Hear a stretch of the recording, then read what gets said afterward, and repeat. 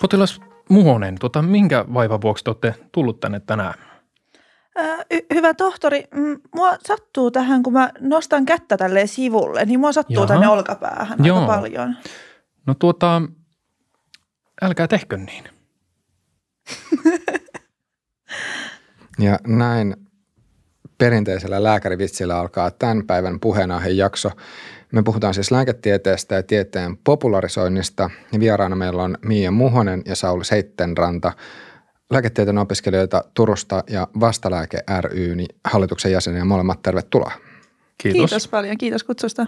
Joo, ja sä Mia tosiaan oot nyt tämän Vastalääkkeen puheenjohtaja ja sitten sä oot myös ollut perustamassa tätä yhdistystä, niin mistä tässä yksi yhdistyksessä on kysymys? Joo, me ollaan siis tämmöinen lääketieteen opiskelijoiden perustama yhdistys, jonka tarkoituksena on tuoda tiedettä kansankielisesti saataville ja meillä on omat nettisivut vastalääke.fi ja sinne julkaistaan tämmöisiä helppolukuisia tiedeartikkeleita kaikista semmoisista ajankohtaisista ja myös semmoista ikiklassikoista terveysaiheista.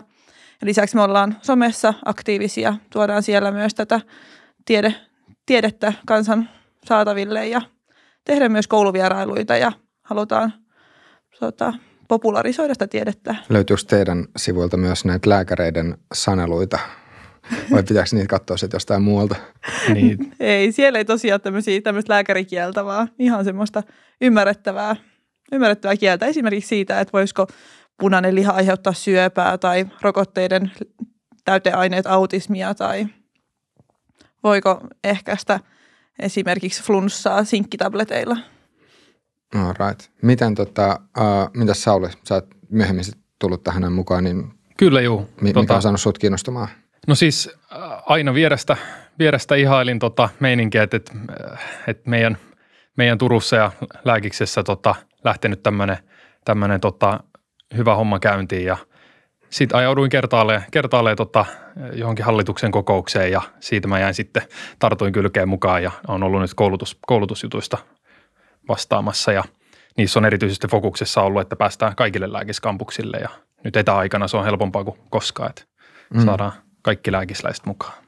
Niin mikä tota, uh, minkälainen vastaanotto tälle va- vastaanotto vastalääkkeelle um, on ollut sille, että miten, miten tota, lääkisopiskelijat on, on reagoinut tähän tai miten sitten onko, että mikä median reaktio on ollut ja miten esimerkiksi lääkärikunnassa sitten tämä yhdistys on otettu vastaan? No pääasiassa on ollut tosi hyvää se vastaanotto ja palaute, mitä ollaan saatu. Et kiinnostusta on ollut kaikissa tiedekunnissa, mistä ollaan kysytty ja jäseniä ollaan saatu tosi nopeasti. Et nyt meitä on jo yli satakunta. Ja tota, mediahuomio on ollut myös tosi positiivista ja me itse asiassa saatiin tämmöinen tunnustus tota, tuolla journalistipalkintokaalassa vuoden journalistinen teko 2019, tämä vastalääke.fi-sivusto. Ja se oli semmoinen tosi merkittävä ja tuli vähän yllätyksenä itsellekin, että näin, näin tota, iso palkinto voidaan saada. Mutta toki sitten on meillä tullut myös semmoista negatiivisempaa kommenttia sitten somessa ja to, meidän erilaisiin julkaisuihin, että totta kai myös toisin ajattelijoita on. Mm, aivan. No mutta jos puhutaan tästä tieteen tai nimenomaan lääketieteen popularisoinnista, niin miten te nyt ytimekkäästi sanoisitte, että miksi, miksi se on tärkeää? Miksi, miksi sitä tarvitaan? No tota, varsinkin nyt somen aikakautena, niin tota, nähdään se, että some on kiihdyttänyt tietenkin, tietenkin tota median kulutusta, sitten on tullut semmoista tosi nopeata ja, ja tota, ehkä aina vaan enemmän klikkiotsikkopainotteisempaa. Se näkyy ehkä ihan tämmöisen perinteisenkin median uutisoinnissa, tiedeuutisoinnissa, että se on tosi semmoista tosi semmoista huomiohakusta ja semmoista sensaatiohakuista. Niin yksi, yksi, voi pä- olla... yksi päivä kahvi on terveellisintä ikinä ja toisena päivänä se on tappavaa. Joo, joo juuri, juuri näin, että tämmöisiä esimerkkejä tosiaan löytyy runsaasti, että tulkitaan vähän liian, liian tota, hypetetään niin kuin, niin kuin niitä terveysväittämiä ja, ja näin. Ja sitten ne leviää somessa tietenkin ja näin. Mutta siinä on just se, että et, et nuo niin kuin terveysalan ammattilaiset puolesta ja, ja varsinkin niin kuin akateemikot eivät juurikaan sitten siellä netissä somessa niitä postaile. Eli siellä ei ole mitään niin kuin vastapainoa, kun sentään jossain A-tolkissa pyritään edessä joku saamaan sinne vastapuolelle ja niin kuin tiedetään, että siinäkin on vähän ongelmia, että onko se semmoinen fake balance – että meillä on siellä, siellä tota, yksi asiantuntija ja sitten yksi, joka on ihan eri mieltä ja ei välttämättä ole asiasta ollenkaan niin kuin asiantuntija.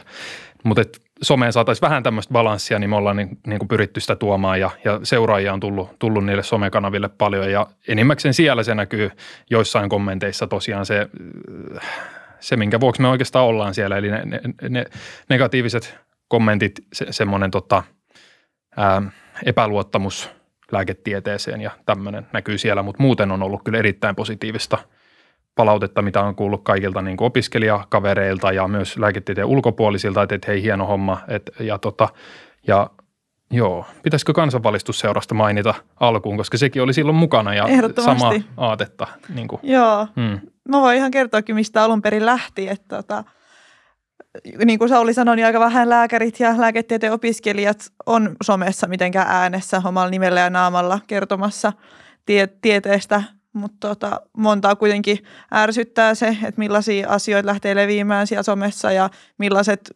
uskomukset saa sit paljon kannatusta. Ja tota, meillä oli Juhani Knuuti oli puhumassa tämmöisessä Duodekimin järjestämässä illassa ja hän siellä heitti ilmoille tämmöisen kysymyksen, että, että olisiko kiinnostuneita, että hän itse on pitänyt pitkään semmoista blogia, missä just oikoo terveysväitteitä.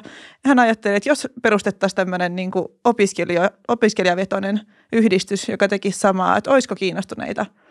Ja voi arvata, että eihän kukaan siinä sitten kättä nostanut ylös tietenkään yleisöstä, mutta hän sitten fiksusti pyysi, että jos voisi jäädä sen luennon jälkeen sinne kiinnostuneet paikalle. Ja meitä oli semmoinen kourallinen siinä ja sitten todettiin, että all right, että lähdetään tästä viemään asiaa eteenpäin. Ja sitten syksyllä 2018 laitettiin yhdistys pystyyn ja sitten me saatiin meidän hankkeeseen tukea opetus- ja kulttuuriministeriöltä ja saatiin kansanvalistusseura ja lääkärin sosiaalinen vastuu siihen sitten kumppaneiksi ja perustettiin vastalääke.fi-sivusto.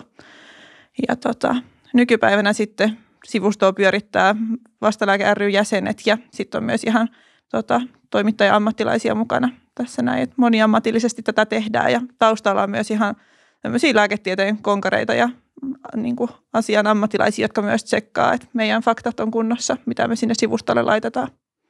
Joo, niin tässä tota, nousi esille sanana epäluottamus, niin onko teillä jotain semmoista, voisiko sanoa näin, että valistunutta akateemista lääketieteen opiskelijan arvausta, että, että mistä, mistä tämä epäluottamus nykylääketieteeseen sitten johtuu? Tai siis, että minkä, minkä takia sitten sitä, sitä tota, ilmenee?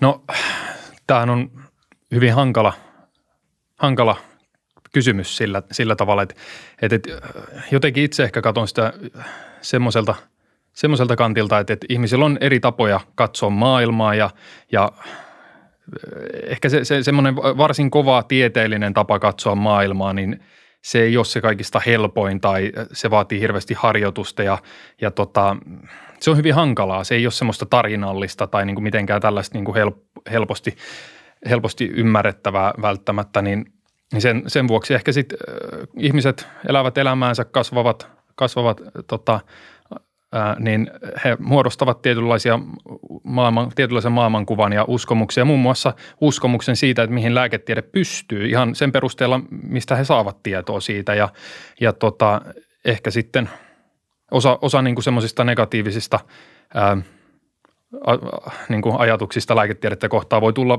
vaikka, vaikka ihan vaan pettymyksistä, että ei pystynytkään auttamaan jossain vaivassa, mihin ajatteli, että olisi – olisi, että ehkä jotkut tämmöiset voi siihen muun muassa vaikuttaa.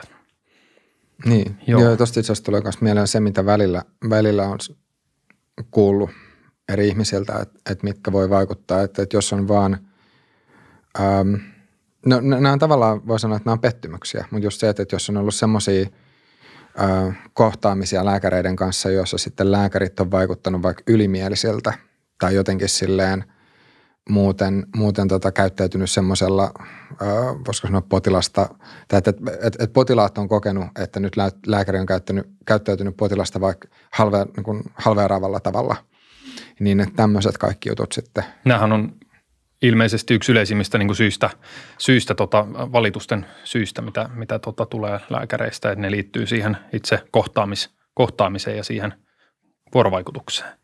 Ja se on, se on toki tärkeässä roolissa siinä, siinä niin kuin luottamuksen rakentamisessa ja semmoisessa, semmoisessa tota, molemminpuolisessa luottamuksessa, että onko nyt lääkäri sitten kuunnellut siinä oikeasti, mikä se vaiva oli ja mikä se vaikka huoli, huoli siihen vaivaan liittyen oli ja, ja näin, että, että jos sieltä sitten tulee vaan latinan termejä ja näin, niin se ei yleensä sitten vastaa siihen tarpeeseen. Joo. Sitten oli toinen, toinen juttu, mikä tuli myös mieleen vielä tuossa, just että nämä pettymykset siihen, että, että lääketiede ei ole pystynytkään johonkin, mutta äm, niin itse asiassa pohjakysymys, että kuinka monta vuotta te olette nyt ollut opiskelijoina?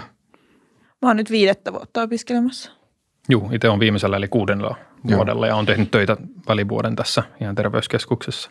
Joo, niin miten teidän oma suhtautuminen lääketieteeseen on muuttunut tai tarkentunut tässä opiskelujen matkalla? Et jos, te, jos te yritätte vähän niin kuin muistella sitä, että millaisena lääketiede tai lääkärit tai terveydenhuolto näyttäytyy silloin, kun te olitte nuorempia ja nyt miltä se, nyt, miltä se maailma nyt näyttää sisältäpäin?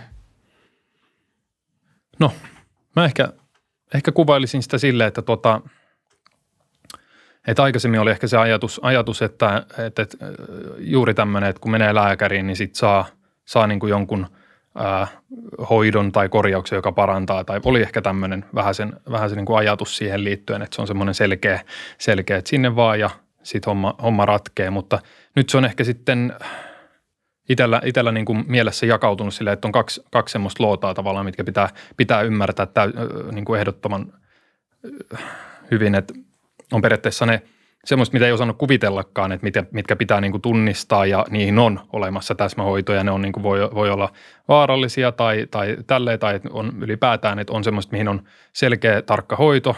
Ja sitten sit on tavallaan semmoinen, missä on, missä on niin kuin huoli oireista tai, tai – joku, tai sitten ihan vaan semmoinen, semmoinen tila, mihin ei valitettavasti ole mitään täsmähoitoa, vaikka ihan tavallinen flunssa, eli ei mikään influenssa, vaan se tavallisin flunssa, flunssa, jonka aiheuttaa rinovirus, niin siihen ei ole löytynyt välttämättä semmoista täsmä, täsmähoitoa, että – et, et, vähän on niin kuin kaksi semmoista luokkaa. Ja ehkä varsinkin se ylin, se voi olla niin, että, että ne ylimmät vaivaa kaikista eniten. Se, missä on huoli jostain oireesta, jostain ärsyttävästä vaikka flunssasta ja siihen haluaisi nopea ratkaisu. Ja sitten siihen ei olekaan, että, että antibiootit ei yleensä mihinkään rinovirusfluntta ei auta siihen siis, koska se on virus.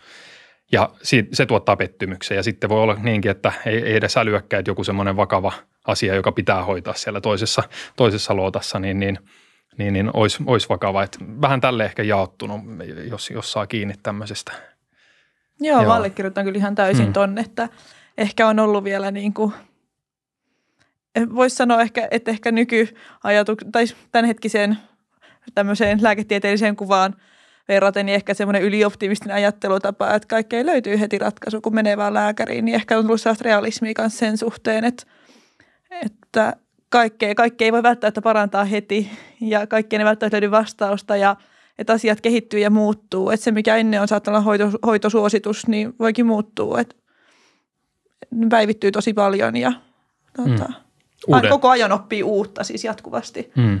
Niin se on jännä, koska just, että jos miettii, että mihin, mihin kaikkiin taikatemppuihin nykylääketiede pystyy, niin mm. toisaalta miettii, että onhan se siis ihan, ihan mm. käsittämättömän mm ihmeellisiä asioita, mitä voidaan tehdä. Mm. Mm. Mutta just, just se, että samanaikaisesti on semmoisia jotain tämmöisiä ikään kuin basic tai perusjuttuja, joille sitten ei voida mitään. Mm. Niin. Ja sitten on myöskin siis tavallaan semmoisia jäänteitä, eli, eli nykyään paljon hehkutetaan siis sitä, että on tutkimukseen perustuvaa lääketiedettä, eli että se on aina tieteeseen perustuvaa, mutta paljon on myöskin sitten, äh, saattaa olla semmoisia niin jäänteitä, että on totuttu tekemään jollain tavalla, että, että äh, Yksi esimerkki, mikä tulee, mikä tulee ensimmäisen mieleen, on, on tämmöiset polvikierukan leikkaukset, eli, eli tota, loukkaa polven just oikealla tavalla, niin siellä sitten on aikaisemmin on menty sinne semmoinen kierukka-leikkaus tekemään sinne polveen tähystämällä. Ja sitten sitä ei kukaan kyseen, kyseenalaistanut, mutta jossain kohtaa tehtiinkin vertailututkimus, jossa toiset hoidettiin sillä tavalla ja toisia ei hoidettu, niin ne paranikin yhtä, käytännössä yhtä hyvin.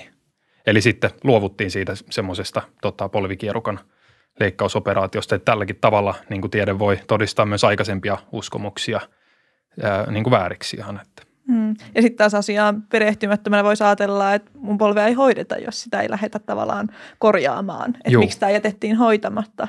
Joo, Kyllä. Niin semmoinenkin ajatus voi helposti herätä, vaikka oikeasti siinä on tehty vain niin lisätutkimusta ja päädytty eri, eri, eri tämmöiseen konsensukseen kuin Joo, aikaisemmin. Niin, on itse asiassa hyvä, hyvä pointti, että just se, että monet saattaa kokea, että, että jos, jos mitään toimenpidettä ei tehdä, niin se, se tulkitaan samalla, samalla tavalla kuin, että jätetään hoitamatta mm. sen sijaan, että nähtäisiin, että no, nyt itse asiassa se toimenpiteen tekemättä jättäminen on paras hoito just tässä mm. tilanteessa. Mm. Joo. Um, Tähän on semmoinen, että välillä on kuullut kirurgien sanovan, että ei ole semmoista vaivaa, mitä ei niin kuin puukolla pahemmaksi saisi. Että se on esimerkiksi selkä, alaselkäkivuissa, jotka ei ole vielä tietyn sorttisia, niin Mm. niin niihin ei pidä mennä leikkaamaan. Niin, tässä, on, tässä on ehkä hyvä kuulijoille sanoa, että nyt, nyt puukolla tässä siis viitataan kirurgin veitseen. Joo. Näin, näin tota. Kirurgi, kirurgislangi. Joo, Joo, kyllä. Um, toi kans toinen juttu, mikä, mikä tuli aikaisemmin esille, eli just se, että, että kun näitä, näitä hoitoja ei ole, ja sitten se, että nämä, nämä tota, varsinkin, että jos ne kohtaamiset lääkäreiden kanssa välillä voi olla sellaisia, että, että tota, jotenkin se lääkäri vaikuttaa vaikka ylimieliseltä tai muuta, niin mä oon miettinyt, että voiko tämä myös olla semmoinen yksi syy, mikä saa ihmiset sitten hakeutumaan vaihtoehtohoitoihin tai tämmöisiin vaihtoehtoisiin, tai englannissa se on CAM, taitaa olla tämä, tämä yksi kirjan yhdistelmä, millä, millä mm. näitä tuota kutsutaan, niin äm, mikä se se olikaan? Alternative medicine, se oli, mikä se oli se? se? Mä en itsekään muista. Joo. Mm. Joo. Mä en no, muista. uskomushoito tai vaihtoehtohoito. Niin, us- siinä on ehkä vähän sen sävyero, että vaihtoehtohoito kuulostaa sillä, että se on vaihtoehto sille niin, lääketieteelliselle hoidolle. Että se olisi samalla viivalla niin, ikään kuin. Niin, joo. tai olisi niin kuin korvaava. Toi on mm. hyvä, hyvä niin ehkä uskomushoito on semmoinen, mitä ehkä itse on mm. eniten ehkä käyttäisin. Mm. Että se ei ole. Hyvä ja itse asiassa niin kuin se uskomussanakaan siinä ei ole lähtökohtaisesti negatiivinen. Eli, mm. eli tota, siis se – periaatteessa tarkoittaa jopa sitä, että se, siinä joku semmoinen havaittava hyöty, minkä henkilö kokee saatuaan mm. jonkun tämmöisen, tämmöisen tota, vaikka reikihoidon, jossa energiavirtoja käsillä, käsillä ilman kosketusta siirrellään ihmisessä, niin hän voi kokea saavansa siitä jonkun hyödyn, hyödyn siitä, että et, sitä sit usein kutsutaan niin kuin placeboksi, eli, eli se, että tulee joku hyöty, vaikka mitään oikeasti niin kuin objektiivisesti mitattavaa ei tapahdu. Useimmiten se ajatellaan, että se liittyy siihen, että jokin, joku toinen henkilö on kiinnittänyt huomiota sinun, ää, sinun vaivaan tai tämmöiseen oireeseen tai huoleen ja, ja tuota, osoittanut empatiaa. Että se, sekinhän on siinä semmoinen, että, että, mm. että tämmöiset, tämmöiset niin kuin hoitajat on niin kuin vaihtoehtois- tai uskomushoitajat on hyviä rakentamaan sitä luottamussuhdetta ehkä – ehkä siitä pitäisi tavallaan ottaa myöskin, myöskin niin kuin mallia lääkäreiden tietenkään valehtelematta potilaalle, mutta et sillä tavalla, että olisi empaattinen se kohtaaminen, niin sekin mm. auttaa, on tutkitusti auttaa itse asiassa hoitotuloksissa ja näin. Niinpä. No. Onhan siinä valtava ero, jos miettii, että on vartin kiireinen terveyskeskuslääkärin aika ja varsinkin jos päädytään vielä siihen, että paras hoito on, ettei tehdä mitään, mm, mm. varsinkaan toimenpidettä. Niin. Niin. Ja sitten verrattuna siihen, että sulla on yli tunnin aika jonnekin, missä on joku, joka oikeasti empaattisesti kuuntelee ja hän tekee jotain, mikä, mikä mm-hmm. sitten vielä loppujen lopuksi tuntuu auttavan siihen, että oireet lievenee jälkeenpäin, niin kyllä se varmasti niin kuin aiheuttaa tämmöisiä positiivisia mieleyhtymiä. Joo, siis tuosta tulee mieleen yksi, yksi tota, tuttu kertoo, että se oli joskus nuorempana käynyt sitten jolla, jossain tämmöisessä, mä en nyt muista tarkkaan enää, että minkä, minkälainen uskos, uskomushoito se oli, mutta mutta se vaan kuvaili, että, että se fiilis, mikä, mikä tota, sille, sille tota, nyt mä en siis muista tarkkaan, että minkä ikäinen se oli, mutta siis tyyliin joku ehkä 14-15 tai jotain tämmöistä.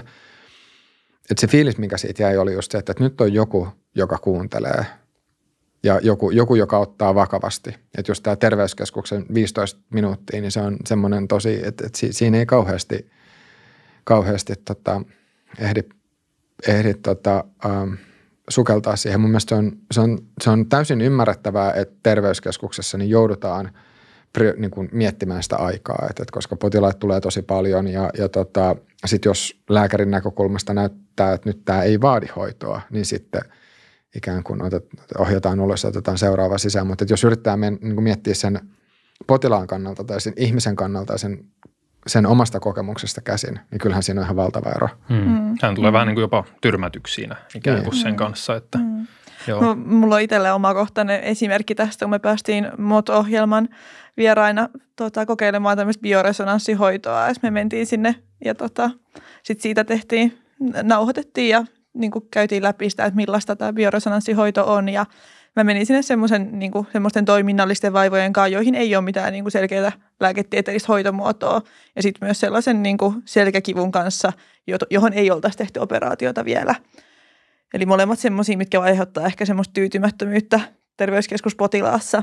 Ja tota, siellä oli toista tuntia kesti se aika ja hänellä oli niin kuin selitykset kaikkiin niihin mun oireisiin ja hänellä oli niin kuin hoitokin näihin mun oireisiin ja sitten vielä kun sieltä lähettiin, niin hän oikein lämpimästi halas mua ja se koko niin kuin, hmm. kaikki oli hyvin päinvastaista verrattuna siihen, mikä se kokemus on sieltä terkkavastaanotolta.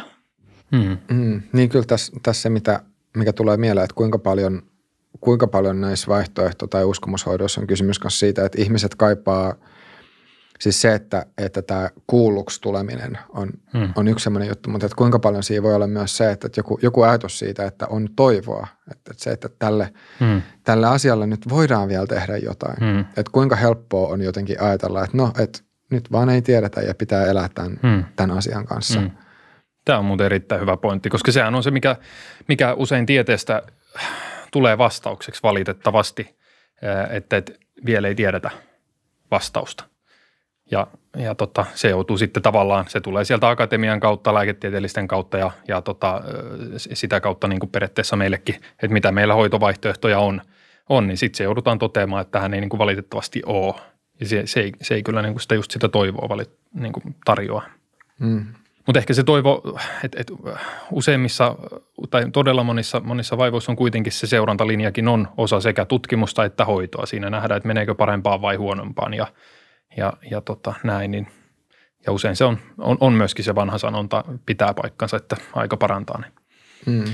Joo. Niin Lääkäriliittokaan mm. joskus, oliko se 70-luvulla, kävi sisäisen keskustelun siitä, tai joskus siis menneenä vuosina, että, että olisiko oikein määrätä tämmöisiä placebo-pillereitä.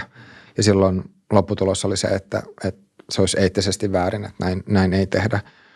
Ja, ja tota, mutta tämä on just jännä kysymys. Minusta olisi hauska, hauska kuunnella teidän, teidän ajatuksia kanssa vielä siitä, että, että jos, jos, jos on semmoinen tilanne, että, että me voidaan, tai että kun me, kun me nähdään tutkimuksesta, että placebo, placebo-efekti on ihan todellinen tämmöinen va- vaikutusmenetelmä ja se, se, niin kuin, se, ää, se voi lisätä ihmisten hyvinvointia, niin sitten tämmöisen placebo-pillerin määrääminen voisi tietyissä tapauksessa se tiesata sitä potilasta, mutta silloin taas se voisi tarkoittaa sitä, että silloin sen lääkärin pitäisi puhua höpöjä sille, sille potilaalle. Niin, niin tässä, jos olisi tämmöinen tilanne, tosin siis tämähän on sinänsä jännä, että placebo-efekti joissain tilanteessa toimii, vaikka se kohde tai potilas tietäisi sen, että on placebo. Se on, se, se on, kans, joo, se on kans tosi, tosi jännä. Mutta se, että, että, että, että, tota, mutta että jos, jos, jos näin vähän yksinkertaistettuna pistäisi vaakakuppeihin toiselle puolelle sen, että placebo-efekti –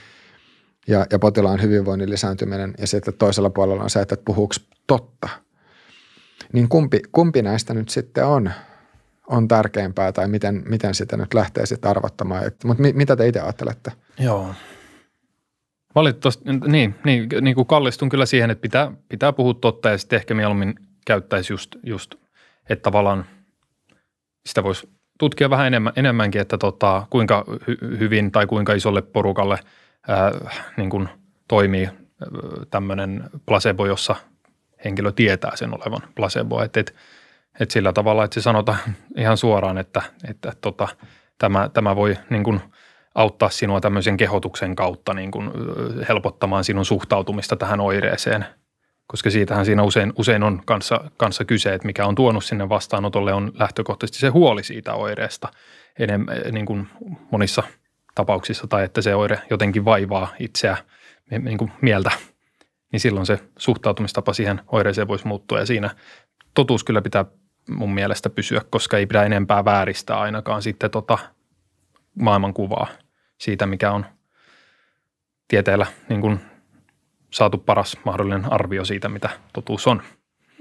Mm. Joo, mä oon mm. samaa mieltä, että kyllä mä lähtisin se totuus edellä ehdottomasti, että tuntuisi väärältä valehdella potilaalle ja niin kuin, tavallaan höynäyttää sillä, että saisi sillä placebolla, jollakin oikeasti placebo-pillerillä tehtyä sen vaikutuksen. Että ehkä enemmän mä käyttäisin semmoista niin kuin, sellaista ns-placeboa, että tota, oikeasti tutkisi sen potilaan huolella, vaikka tuntuisi, että se ei ehkä ole tässä hirveän oleellista, mutta tekisi oikeasti ihan tämmöisen niin kuin lääkärin tutkimuksen ja tota, haastattelisi kunnolla ja tota, kysyisi niin kuin tarpeeksi, ja tarpeeksi avoimia kysymyksiä, niin siinä se placebo on jo se, että tulee kuulluksi, niin tulee ehkä myös semmoinen luotto siihen, että ehkä tämä vaiva tai huoli, mikä tuli lääkäriin, niin oli ehkä vähän tarpeeton ja eiköhän tämä tästä ajan myötä myös helpota ja varmasti alkaa helpottaakin. Niin tuossa kanssa miettii sitä, että, että voiko että vaikka, vaikka se paine tulee silleen, että nyt pitää nämä tota, vastaanottajat pitää lyhyinä, koska niitä potilaita tulee niin paljon, niin jos ne olisikin pidempiä ja sitten potilaat ehdittäisiin tutkia paremmin ja ne, ne hoit, tai siis ne vastaanottotilanteet olisi jotenkin semmoisia, että niistä myös jäisi ihmisille parempi kokemus, niin voisiko se itse johtaa siihen, että sit, sitten tulisi potilaat vähemmän jatkossa. Että jos on joku, joku, joku potilas, jolle jää se fiilis, että, että nyt mä oon käynyt täällä kolme kertaa ja vieläkään ei tota, Tämähän on, ei ota niin, tosissaan joo, vielä. Ja nyt mä, nyt mä vielä uudestaan menen. Niin. Joo, tätähän kutsutaan häiriökysynnäksi. Tämä on tämmöinen uusi, vanha ajattelutapa muualla, muualla niin kuin organisaatioissa, mutta et, et sitä ajateltaisiin myöskin, myöskin tota suomalaisissa ää, ihan julkisissa terveydenhuoltopalveluissa, joissa, joissa resurssit on aina, aina pula ja joudutaan tiivistämään, niin juuri tämä, että, että tavallaan kun ei ole pystytty vastaamaan siihen tarpeeseen ja tulee tavallaan lisää sitten niitä käyntejä, niin sitten se luo semmoisen vääristyneen kuvan, että kuinka paljon oikeasti tarvitaan tai kuinka paljon sitä kysyntää oikeasti on, on niistä palveluista. Että mm. Tämä on semmoinen, mihin kyllä toivottavasti Joo. löytyisi ratkaisuja. Mutta mennään nyt mm. itse asiassa vielä tähän, tähän sitten niin kuin tämän teidän yhdistyksen toimintaan takaisin sinne terveys, mm. terveysviestintään, niin ähm, miten te näette just, jos, jos miettii nyt vaikka median roolia ja just tätä sosiaalisen median roolia tässä, tässä terveysviestinnästä, niin miten, miten lähtisitte avaamaan? No kyllähän terveys on sellainen asia, mikä just koskee jokasta ja kiinnostaa myös hyvin montaa. Ja monella on myös aika vahvoja omia mielipiteitä siitä omasta terveydestään ja voinnistaan. Ja kyllähän sitten niin kuin, tosi monet pyörii sosiaalisessa mediassa, tosi monet lu- lukee tai seuraa jotain mediaa. Ja siellä on totta kai myös niitä terveysuutisia, koska ne kiinnostaa. Niin kyllähän sieltä totta kai omaksuu tahtomattaankin aika paljon tietoa. Ja sielläkin sitten totta kai fiili tuo sulle just niitä sua kiinnostavia asioita ja ne sitten vahvistaa entisestään sitä sun näkemystä ja maailmankuvaa. Niin tota, se voi itse asiassa vaikuttaa tosi paljonkin ja eri ihmisiin eri tavoilla. Että eri ihmiset saa sieltä mediasta erilaisen käsityksen terveydestä ja terveysväitteistä. Hmm.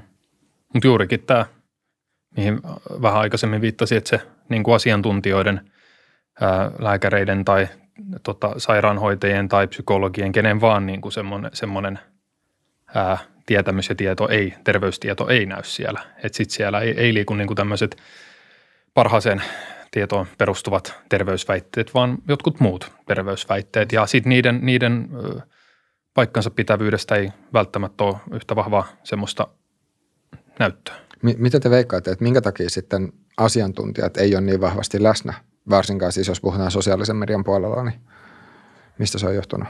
No usein tiede ei ole niin semmoista mustavalkoista ja on mm. huomattavasti helpompaa tehdä kiinnostavia lyhyitä tekstejä sillä tavalla, että siinä on selkeästi joku tietty totuus. Niin semmoinen voi joku ehkä... selkeä ratkaisu. Niin selkeä kuin, ratkaisu. Niin kuin, tässä on vaiva ja tässä on ratkaisu tai näin. Mm. Vähän niin kuin semmoista mainosloganimaista tai mainos TV-mäistä jopa. Niin, niin se on mm. kyllä totta.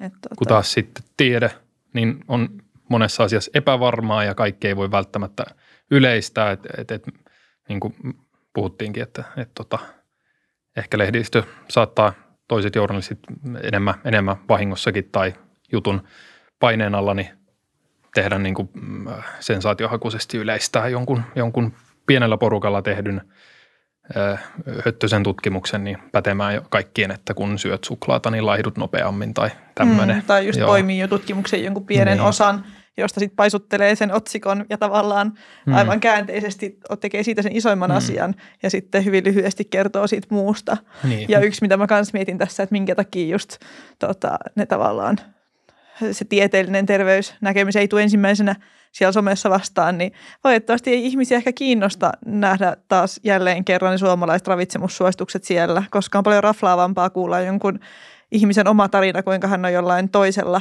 ravitsemuskeinolla tai jollain ravintolisällä saanut muutoksia aikaiseksi, hmm. kuin se, että jälleen kerran kuulee ne tavallaan kaikkein yleisesti tietämät hmm. suositukset. Hmm. Tarinallisuus, siis toi on, kysyy miltä tahansa, miltä tahansa viestintä kouluttajalta tai mainostoimistolta tai mistä vaan, niin tarinallisuushan on se, mitä aina sanotaan, että se niin kuin kiinnostaa ihmisiä eniten ja, ja se muistetaan parhaiten, tarinat. Niin kuin sitä tiedettä on niin vaikea pukea tarinoihin. Mm, niin sitten se on se myöskin. Niin tuossa on, mm. on kieltämättä myös semmoinen, että jos, jos miettii kahta tarinaa, jossa toinen tarina on semmoinen, että mä tein just lääkärin ohjeiden mukaisesti ja näiden lainausmerkeissä virallisten suositusten mukaisesti.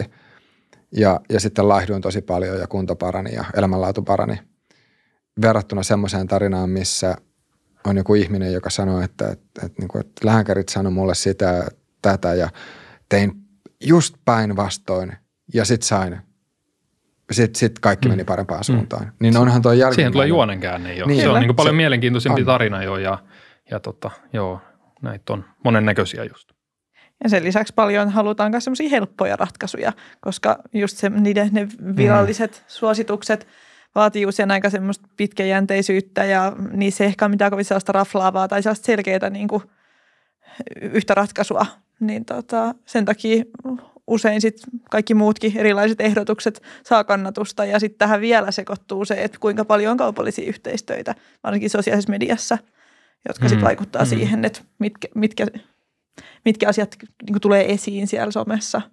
Mm-hmm. Eli nämä influencerit ja niin, tämmöiset, että jos on saanut, saanut tota laajan yleisön ja kertoo omasta lifestylistaan ja sitten siinä on mukana vielä markkinointilauseet jostain, jostain luontaistuotteesta, vitamiinivalmisteesta tai tämmöisestä, niin sitä kautta ne leviää sitten semmoiset ehkä ajatukset, ja, koska seuraajat luottaa siihen mm. influenceriin ja näin. Joo. Siinä yhdistyy se tarinallisuus mm, taas, kun mm. ajattelee, että tuntee. Mitä, mitä mieltä te olette, kun yksi, yksi sellainen asia, mitä Suomeen ollaan nyt jo jonkun aikaa oltu puuhaamassa mm. lainsäädännössä, siis eduskunnassa, niin tämä niin sanottu puoskarilaki. Tai se, että, että näihin, näihin tai että nämä uskomus- tai vaihtoehtohoidot jollain tavalla tulisi nykyistä, nykyistä enemmän säännellä, niin jonkinnäköisen sääntelyn alaseksi.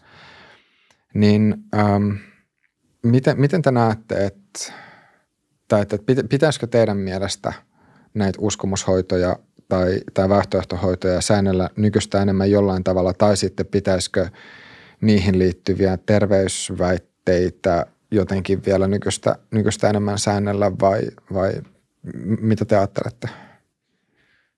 No siis mä suhtaudun ehkä vähän silleen, että, että no – vaikea nähdä, että miten se sitten sääntely itsessään suoranaisesti tapahtuu, tapahtuu ilman, että se jotenkin kauheasti rajoittaa ihmisten ilmaisun vapautta tai jotain tämmöistä, näin, että, että, että nykyään sääntely niin kuin ammattihenkilö nimikkeisiin kohdistuu sille, että jos on se titteli, niin sitten voi, voi tota, tulla kirjettä valvovalta viranomaiselta, mutta muuten se on hyvin vaikea, vaikea puuttua, jos henkilö vain julistautuu julistautuu, tota, mikä meillä oli näitä esimerkkejä. No esimerkiksi josko. ravitsemusterapeutti, joka on ihan tämmöinen yliopistotutkinto. Ravin, niin se on. Niin, niin sitten on taas, sen, se Joo. on suojattu nimike, mutta sitten on ravintoterapeutteja niin. esimerkiksi ja ravintoneuvojia, ravitsemusneuvojia. Niin, niin ei, miten sitä pystyy sitten sääntelemään tavallaan, mutta toisaalta, toisaalta kuitenkin meillä on, että mainos – niin kuin jos tuotetta mainostetaan, niin siinä ei saa olla, niin kuin sitä on säännöstelty, että minkälaisia terveyslupauksia saa olla. Että ei saa suoraan sanoa, että tämä auttaa parantamaan jotain tautia tai lievittämään jonkun taudin oireita, mutta sitten sitä toki kikkaillaan, niin kuin nähdään vita- Mä... vitamiinivesi, oliko tämä esimerkki vai? Mulla oli vain yksi Joo. esimerkki, just jonkun tämmöisen luontaistuote. Mm. Kaupan verkkosivulla surffasin ja Joo. siellä oli joku tämmöinen luontaistuote ja tota, siellä luki mun mielestä hauskasti, että valitettavasti emme voi kirjoittaa tässä enempää tuotteen terveysvaikutuksista. Okei. Okay. Tai jotenkin tälleen, että he antoivat Joo. olettaa, Joo. Asiassa voi tulla vaikka keskustelemaan. Vita, vitamiinivesi, vitamin water, joka taitaa olla Coca-Cola-kampanin omistama tuote, niin hehän ja moni muukin tekee sitä samaa. Eli, eli tota, ää, tässä on vitamiini C ja ää, vitamiini C on tärkeää ihon hyvinvoinnille.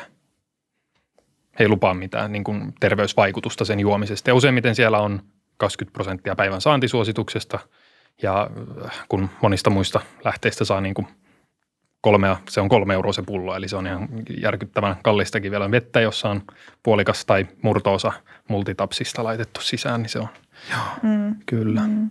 Luontaistuotteet, pitäisikö meidän puhua luontaistuotteista vähän se? No mulla, on, mulla, on tämmönen, mulla on siis äh, se, miten mä mietin, mietin äh, sitä, äh, että minkä takia tätä, tätä niin kuin tota teoriaa, että – että, että, että luontaistuotteet on parempia kuin lääkkeet ja lääkefirmat ei halua, että luontaistuotteet millään tavalla niin kuin menestyy tai näin ja sitä käytetään markkinointi tämmöisenä retoriikkana tai argumentaationa, niin, niin siinä on vähän semmoinen juttu, että, että jos siellä luontaistuotteessa jonkun kasvin uutteessa tai jossain tämmöisessä valmisteessa olisi jotain vaikuttavaa ainetta, joka oikeasti auttaisi johonkin vaivaan, niin kyllä ne lääkefirmat tulisi tutkisi sen ja ottaisi sen omaan lääke niin kuin repertuaariinsa ja myisi sen. Eli, eli tämä on vähän niin kuin se semmoinen tietynlainen ar- argumentti kyllä niitä, niin kuin, niiden va- lupailtuja vaikutuksia vastaan. Et, ja varsinkin tällä tämmöisellä argumentaatiolla, että lääkefirmat eivät halua tietävän. Se olisi ihan hyvä bisnes heillekin, jos sieltä löytyisikin joku vaikuttava ainesosa sieltä luontaistuotteesta. Niin, ja kyllä mm. tietysti mm. tämä, tämä menee toiseen suuntaan, että kuka tahansa, joka myy mitä tahansa, niin on sen tahon ottamatta kantaa siis silleen, että mistä asiasta on kysymys, mutta jos joku taho myy jotain, niin silloin sen kyseisen tahon kannustimena tai intresseissä on esittää se asia niin, että ihmiset ostaisi just sitä asiaa, mitä on itse mm, myymässä. Mm. Tietysti. Et, et, tota, mikä, mm. Ja siis tämä pätee kaikkeen. Mä, mä jäin tota miettimään sitä, että sit toisaalta niin, ö, voihan olla myös niin, että on, on joitain semmoisia – vaikka ainesosia, joiden, joiden tota, sitten vaikka patentoiminen olisi, mm. olisi hankalaa tai niiden, Kyllä. niiden että se olisi, että vai, et, Muuttaminen pal- niin, tuotteeksi, niin, jota voi myydä omistusoikeudella. Niin, Joo, siis se on se, totta et, kyllä. Et, et joku, että kun lääke, lääkekokeet on kuitenkin, mm. tai lääketutkimukset on älyttömän kalliita, ja sitten jos, lääkefirma, niin, ja sit jos lääkefirma laskee, että okei, nyt tässä itse asiassa mm. ei ole bisnestä, mm. niin silloin tästä ei kannata tehdä juu, lääkettä. Juu. Joskus voi ehkä olla näin. Kyllä, kyllä. Ja tai ihan niinkin, että vielä ei ole löydetty tai niin. tutkittu sitä kyseistä harvinaisen kasvin, kenties sukupuuttoon kuolevan kasvin ää, uutetta, että mitä kaikkia aineita sieltä löytyisi. Et, et, et, tota, näin, mutta ennen kuin se on löytynyt, niin sen väitteen tekeminen on ihan niin kuin koliko heitto, että pitäisikö, mm. voisiko semmoinen pitää paikkansa, sitten se auttaisi just siihen pikkuvarpaan, pikkuvarpaan johonkin ää, kovettumaan. Niin. Et se on niin kuin se, Joo. että ennen kuin se on tutkittu. Joo. Se on totta. Et pitää tiedostaa se, että me ei tiedetä niitä asioita, että ei voi myöskään väittää, että ei ole mitään vaikutuksia, mutta sen voi sanoa, että, että, että jos se lupaa jonkun vaikutuksen jollain tavalla ja siitä ei ole mitään tutkimustietoa, niin sitten on, voi sanoa, että no, tätä väitettä ei ole todistettu. Niin Mutta ei voi sanoa, että ei ole mitään vaikutusta sillä niin, aineella, niin koska ei sitä ole tutkittu. Niin tämä on itse asiassa tuntuu, että tämä on mm. kanssa, mikä voi joskus mm. joillekin olla – kauhean epätyydyttävä vastaus, mm. jos just sanoo, että, tästä ei ole näyttöä. Että halutaan se vastaus, että no, et, sano nyt, tehoaako se vai eikö se tehoa? Mm. Mm. Toimiiko se vai onko se humpuukia? Mm. Joo. Ja sitten jos se vastaus on se, että no nyt meillä tällä hetkellä ei ole tutkimusnäyttöä mm. ottaa kantaa siihen, että, että, että onko tästä vai ei, niin se on, se on, se on kauhean epätyydyttävä vastaus. Mm. Jep, se jättää ihan auki kokonaan, se ei ole tavallaan vastaus lainkaan. Niin. Se jättää mm. kokonaan se auki. Va- vaikka sitten se on taas just se lähtökohta, miten lääketiede tai tiede ylipäänsä toimii. Et. Mm, näinpä. Joo. Um, mulla oli joku asia kanssa, mikä tuli näistä luontaistuotteista mieleen. Niin, siis tämmöinen kela kanssa, että et jos, okei, okay, onhan sitten myös luontaistuotteita, jotka on ihan aidosti vaarallisia ihmisille, että saattaa olla maksaa toksisia, tai sitten varsinkin just näette, että jos on joku tietty luontaistuote yhdistettynä johonkin vaikka lääkkeeseen, niin mm. niin sitten sit voi tulla haitallisia vaikutuksia. Joo. Mutta just se, että, että sitten voiko, voisiko jotenkin ajatella näin, että luontaistuotteet sit on semmoinen niin kauan kuin ne on valmisteita, että vaikka nyt niistä ei olisi erityistä hyötyä, mutta jos niistä ei ole haittaakaan, niin onko se vähän semmoinen ulkoistettu placebo-pilleri tietyllä tavalla. Et nyt kun sitä placebo-pilleria ei sitten lääkärin vastaanotolta saa, niin sitten jos ihmiset jonkun kuitenkin pillerin haluaa, että niillä on se joku toivo, niin sitten siis, sit ajaako ne vähän tätä virkaa? Siis kyllä mun mielestäni ainakin meille on, on jossain, jossain kurssien yhteydessä vähän niin kuin äh, kehotettukin ajattelemaan sitä sillä, sillä tavalla, että tota, et, et toiset ihmiset vaan on päättänyt käyttämään, että ei, ei ketään voi pakottaa olemaan, jos, jos niitä on kaupan ja näin. Ää, niin tota, mutta se suhtautuminen juuri, juuri tämmöinen suhtautuminen, eli, eli tota, jos siitä ei ole niin kuin haittaa, niin ei, ei siitä nyt tavallaan välttämättä hyötyä saarnatakaan. Ää, niin kuin potilaalle se ei paranna mitään, mitään niin kuin luottamusta tai mitään, että et, et siinä tapauksessa se voisi olla just joku tämmöinen, ulkoistettu placebo-pilleri, jota ää, me ei sitten – me ei sitten olla siinä huijaamassa ja määräämässä, määräämässä semmoista hoidoksi. Että et siis on ihan tämmöinen tietokanta, johon on pyritty yhdistämään, tota, joka on, joka on tota Duodeckimin ylläpitämä herbal, herbal lääkäreiden ja terveydenhuollon ammattilaisten tietokanta, johon on pyritty kasaamaan sitä. On toki aika vähän sitä tutkimusta yleensä, yleensäkin niin kuin luontaistuotteista, eli, eli näin, mutta sinne on pyritty kasaamaan, että löytyisikö joku yhteisvaikutus jonkun lääkeaineen kanssa, jolloin lääkäri voisi sitten suositella sanoa, että, että tämä ei kannata ottaa tämän kanssa yhteydessä, tämän sinun lääkityksen kanssa tätä luontaistuotetta, että se on vaarallista. Ja tämmöisessä niin kuin tämmöiseen ehdottomasti hyvä, että tuommoiset palvelut kehittyy, että, että, että mekin ollaan sitten valveutuneempia siitä, että mitä ihmiset on päättänyt, päättänyt nyt tämmöisiä luontaistuotteita käyttää. Mm. Mm. mekin haluaisin ehkä kitkeä sitä vastakkainasettelua mm. siitä, että et valitseeko just lääketieteellisen hoidon vai sitten jonkun luontaistuotehoidon. Että just jos vaan varmistaa, että se ei ole sille lääketieteelliselle hoidolle tai sen kanssa vaarallista – ja jos siitä kokee itselleen hyötyä, niin kyllä mä melkein kannustaisinkin siihen, jos siitä ei ole tosiaan mitään haittaa ja siitä vielä kokee hyötyä. Ja sitten toisaalta, jos sitten jossain vaiheessa huomaa, että ei enää hyödykään, niin sitten se voisi vaiheessa lopettaa sen, hmm. sen luontaistuotehoidon siinä lääketieteellisen hoidon rinnalla. Hmm. Ja just sitä vastakkainasettelun purkamisesta, niin musta olisi myös sen takia tärkeää, että monet myös jättää sitten kertomatta lääkärille ehkä. Niin, ei kyllä, myöntää. Kyllä, jos joo, käyttää jotain, kun ajattelee, että hän, lääkäri voisi pitää hölmönä niin. tai hmm. että ei, niin kuin, ei halua kertoa. Hmm. Niin myös sekin voi olla kohtalokasta joissain tilanteissa, hmm. jos se niin. jää kertomatta. Siis niin kuin mehän halutaan, halutaan potilaan parasta siinä, niin hmm. et, et mehän haluttaisiin tietää se ja, ja tavallaan se olisi niin kuin hyvä, hyvä tietää, että että, että olisiko siellä joku vaarallinen – tämmöinen yhteys, että ei, ei sitä pidä niin kuin sillä, sillä tavalla tuomita tai koska siitä voi johtaa johonkin tämmöiseen, että ei sitä haluta kertoa tai uskalleta kertoa. Niin tuossa, tuossakin on varmaan just se, että tosi paljon jälleen kerran siitä, voisiko sanoa kommunikaatiosta kiinni, mm. että, että mm. vaikka, vaikka lääkärin tehtävä on, on just silleen, tai no just se, mitä tuossa aikaisemmin kanssa puhuttiin, että lääkärin, lääkärin tehtävä on puhua potilaalle totta mm. ja kertoa, miten asiat on.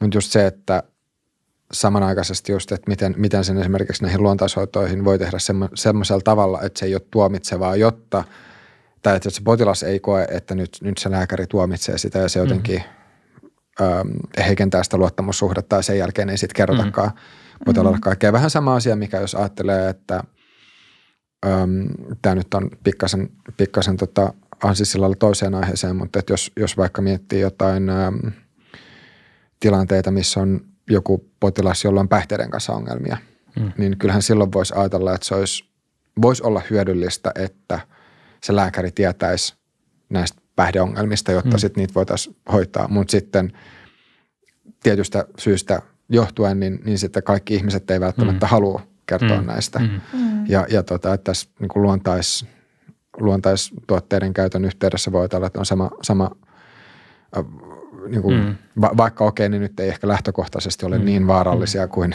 kuin päihteet, mutta vaan se, että, niin. että, että jotta näistä interaktioista voitaisiin tietää tarvittaessa. Niin. Joo, kyllä. Joo. Ja haluan tässä nyt ehkä vielä painottaa, että siis tosiaan kyllähän sitten toisinaan puhutaan, että ihan, ihan perusterve 30 henkilö joutuu päivystykseen sen takia, että, että, että, että tota, maksa on ihan poksahtamassa ja sitten ihmetellään, että mikä, mikä juttu tämä on ja, ja sitten mukana on kassi, jossa nähdään, että, että, että hän sanoi, että ei ole mitään lääkkeitä käytössä, ei ole mitään, mikä voisi aiheuttaa tämmöistä, ei ole syönyt myrkkysiä eikä mitään, mutta sitten kassissa on runsaasti luontaistuotteita, että, että niitä on niitä ääri, ääritapauksia toki. se on kyllä hyvä kanssa todeta, Niin. että ei, ei puhuta ihan mistään pienistä haitoista toisinaan, että Niin, löytyy aivan. niitä yksittäistapauksia, joissa on niin kuin hengenlähtökin lähellä. Niin toi on hyvä lisäys mm. sille, että ihmiset ei välttämättä miellä niitä lääkkeiksi. Mm. Mm. Ja, ja tota, vastaavasti samalla tavalla, Mm. mm. muistan ainakin tämä, mitä, mitä meille joskus sanottiin tota, opetuksessa, että jos kysyy, kysyy potilaalta, että juotko, niin kuin, tai että käytätkö, käytätkö tota, alkoholia, niin se ei riitä, vaan siitä pitää myös kysyä, että, että juotko kaljaa, Mm. mm. koska siis alkoholi Mm. kaikissa Joo. tilanteissa ei välttämättä tarkoita Kyllä. Kyllä. sitten kyllä. kaljaa, että alkoholi on vaan kirkas viina. Joo. Ähm. Ja vielä tuohon, itse asiassa tuohon, että kaikkea mielletään lääkkeeksi niitä luontaistuotteita, niin monet lääkkeet on löydetty lä- Mm. ensin luonnosta Niin, eristetty. sekin Eli, vielä. eli näinkin, näinkin, että ne on molekyylejä siinä, missä muutkin. Ja ne pitää tutkia ne vaikutukset kehoon ennen kuin voisi luvata mitään puolesta tai vastaan. Mm.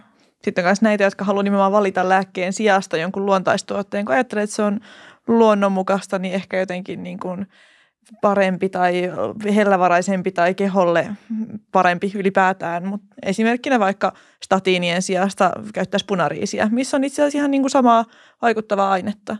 Mutta sitten kuitenkin alkaa miettimään, että, että lääkkeissä on kuitenkin täsmälleen tietty määrä sitä vaikuttavaa ainetta ja tiedetään täsmälleen, mitä täyteaineita lisäksi siinä lääkkeessä on. Mutta sitten kun niitä luonnon, luontaistuotteita ei mitenkään pystytä valvomaan tai säätelemään, eikä välttämättä edes tutkita, mitä kaikkea niissä oikeasti on, niin tota, Mm. sitten ei edes tiedä, että mitä kaikkea myrkkyä ehkä saattaa siinä ohella tietämättä Mm. itsensä laittaa. Niin, tai kuinka paljon sitä on sitä vaikuttavaa ainetta Juuri siinä tää. punariisissä tällä kertaa ja tuossa tossa satsissa ja tässä satsissa. Eli sitten se Kyllä, vaihtelee se vaikutus. kyllä. Ja mikä vaikutus sillä sitten taas on siihen oikeasti hoidettavaan Mm, mm. sairauteen. Niin. Niin toi, toi jännä, Mm. musta tuntuu, että just mon, monella voi olla ja mun mielestä se on jollain tavalla aika ymmärrettäväkin just se ajatus, että mieluummin käyttää jotain lainausmerkeissä luonnollista kuin jotain synteettistä, jossa on Mhm. kemikaaleja ja, ja tota, jotenkin musta tuntuu silleen, että, että, että välttämättä kaikki ihmiset, jotka puhuu kemikaaleista, niin ei välttämättä itse asiassa edes ymmärrä, että, että mitä tämä kemikaali sanana Mm. mm. tarkoittaa. Mm. Mm. Että et siis niin kuin, että et, et sehän on siis niin kuin ka, ka, Mm. kaikki mahdollinen Niin, luonnossa koostuu. esiintyvä on, koostuu kemi, kemikaaleista. Eli Niin. molekyyleistä. Molekyyleistä. Mm, niin, Niin. atomeista molekyyleistä. Mutta että se sana jotenkin on vaan semmoinen, joka, joka sitten juu, silloin, silloin tämmöinen pelottava leima. Joo. Klooria, tämmöiset pesuaineet ja myrkyt mieleen. Niin, Tietää. joo, just Mm. näin. Ää, mutta sitten kanssa tämä luonnon, luonnontuote, niin kyllähän siis jälleen kerran kaikki, kaikki myrkkysienet, tappavat myrkkysienet Mm. mm. on luonnontuotteita. Mm. Mm. Eikä Eikä niitä silti kannata Niin. syödä. Et, Niin. Että tämä tota, niin kuin luo, luonnollisuus versus synteettisyys, niin ainakin jos sitä itse pohtii, niin tuntuu siltä, että ei nyt tämä, tämä, tämä nyt ei välttämättä kannattaisi olla se jako, minkä mukaan päättää sitten, että onko Mm. mm. joku asia hyvää vai huonoa. Mm. Juuri näin.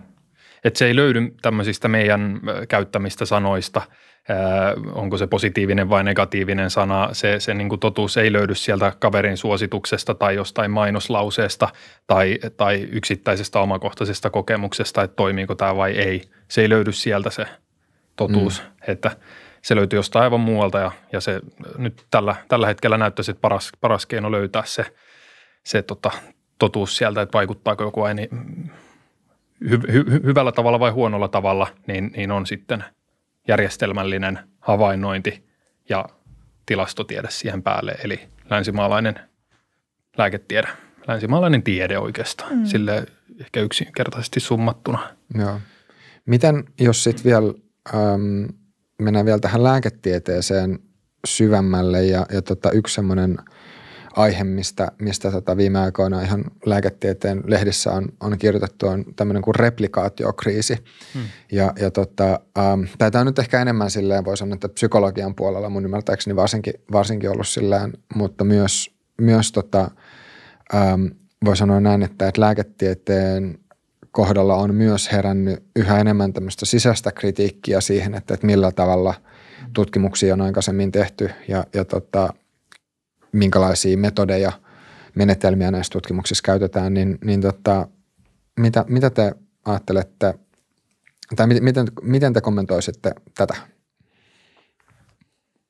Tota, joo, replikaatio, replikaatiokriisi, pitäisikö ehkä se, Joo, se on selittää terminä, tota, terminä hyvä. terminä, eli, eli se, on, se on siis äh, nähty ehkä monissakin, useammassakin, mutta muun muassa, muun muassa psykologiassa, niin, niin tuota, tämmöinen, että, että on tehty tutkimuksia ja, ja sitten tuota, ää, kun niitä toistetaan, niin tutkimuksia ei löydetä vastaavia tuloksia. Ja, ja sitten ymmärtääkseni siihen sillä tavalla niin kuin liittyy myöskin se, että, että ää, tieteessä ei ehkä ole kauhean hyvät kannustimet siihen, että tutkittaisiin, testattaisiin uudelleen jotain hypoteesia, joka on, joka on vaikka ollutkin positiivinen löydös, eli että tämä hypoteesi näyttäisi, tämä teoria näyttäisi pitävän paikkansa, on muutama tutkimus, ehkä heikkolaatuinen pienellä, pienellä määrällä henkilöitä, ja ei ole semmoisia kannustimia siellä sitten, että sitä toistettaisiin ja tulisi sitä korjaavaa, korjaavaa tota, menetelmää, tieteen omaa korjausmetodia sinne, eli, eli että tulisi niitä lisää tutkimuksia, lisää havaintoja, lisää aineistoa, isompi, isompi populaatio, jolla testataan sitä samaa teoriaa. Että tämä on yksi, yksi tämmöisiä tuota, ää, niin kuin kipukohtia länsimaalaisissa tieteessä ylipäätään. Et, et tiet, eri tieteenaloilla on vähän eri metodiikka ja tota, me ollaan toki niin kuin keskitytty sitten lääketieteeseen, jossa, jossa on omat tavat tehdä tutkimuksia, mutta siellä yleisesti pätee se, että mitä isompi, isompi määrä populaa on, mitä, mitä tota, tarkemmin se on niin kuin, mitä tarkemmin mitataan, mitataan ja tota, sitten se, että jaetaan se parin eri ryhmään, toista hoidetaan, tiedetään tarkalleen asiat, yksityiskohtia paljon niistä ja tota, satunnaisesti jaetaan kahteen eri ryhmään, toisille annetaan hoitoa ja, ja toisille annetaan placeboa. Ja sitten katsotaan se hoitovaste sen jälkeen. Eli tämmöiset asiat, jos nämä menetelmät tässä välissä ei ole tehty hyvin, ää, niin, niin silloin voi tulla sitten virheellisiä tavallaan tuloksia. Ja, ja tota, tässä, t- tässä ehkä niin kuin sieltä, sieltä löytyy tämmöisiä kipu, kipukohtia, muun muassa tämmöinen kannustin sitten, se tulee sieltä niin kuin rahoituspuolelta, se kannustin tehdä niin. uudelleen tutkimuksia ja vahvistaa vielä isommalla aineistolla ja vielä – vielä paremmin ja vielä järjestelmällisemmin, että on, ollaan mitattu vielä tarkemmin jotain mm, tu, mit, mittareita niistä henkilöistä. Että. Niin, ja sitten taitaa olla myös mm. yksi sellainen iso, mm. uh, iso ongelma, mitä on kuullut, että, että ei ole kannustimia julkaista, jos ei tule löydöstä. Mm. Mm. Eli silloin, silloin tota, mm.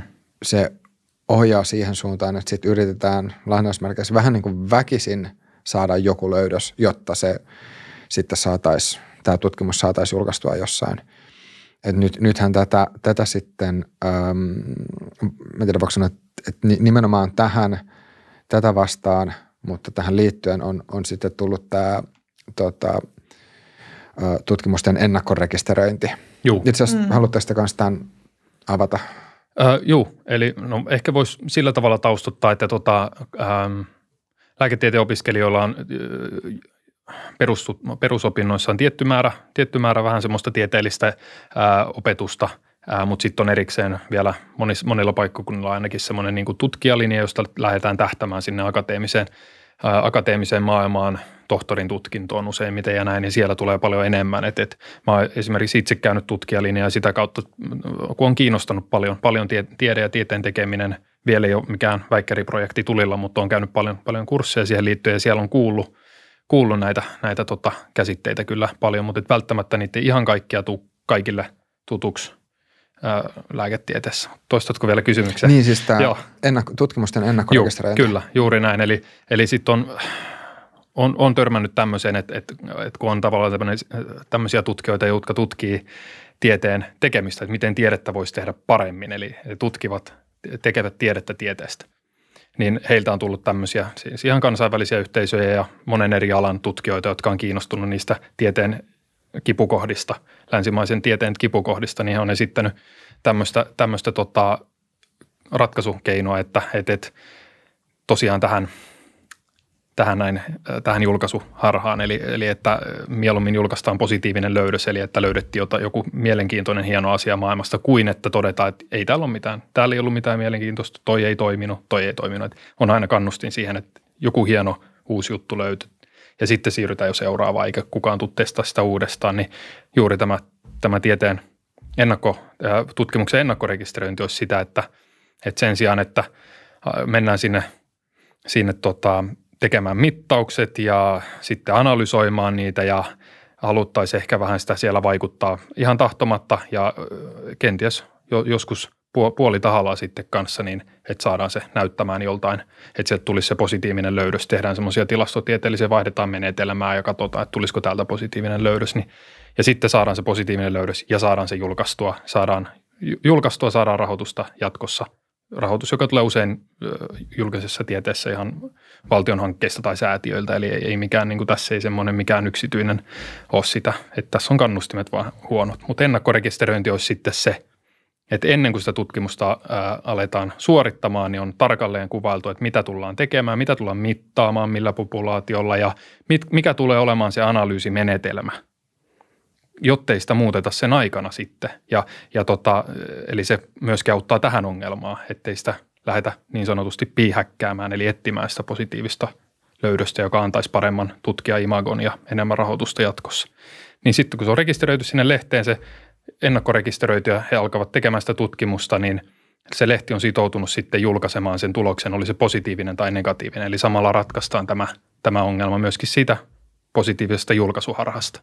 En osaa sanoa yhtä, että kuinka moni lehti on täs, tähän mennessä sitoutunut tämän sorttisiin, mutta toivoisin, että tämmöisestä heräisi kyllä enemmän keskustelua, että oikeasti saataisiin korjattua niitä, saataisiin sitä tieteen korjausmekanismia toimimaan paremmin, paremmin että tois kannustimet tutkia. Niin, koska kyllä tuosta heti just, mm. äh, jos näin kansanomaisesti mm. ajattelisi, että, että jos sulla on vaikka kymmenen, kymmenen tutkimusta, mm. joista ainoastaan yhdessä on tullut se, että mm. tässä on joku lääke, joka, mm. joka nyt vaikka toimii johonkin, mm. Tai, tai joku hoitomuoto, joka toimii, ja se julkaistaan ja sitten ne kaikki yhdeksän, mm.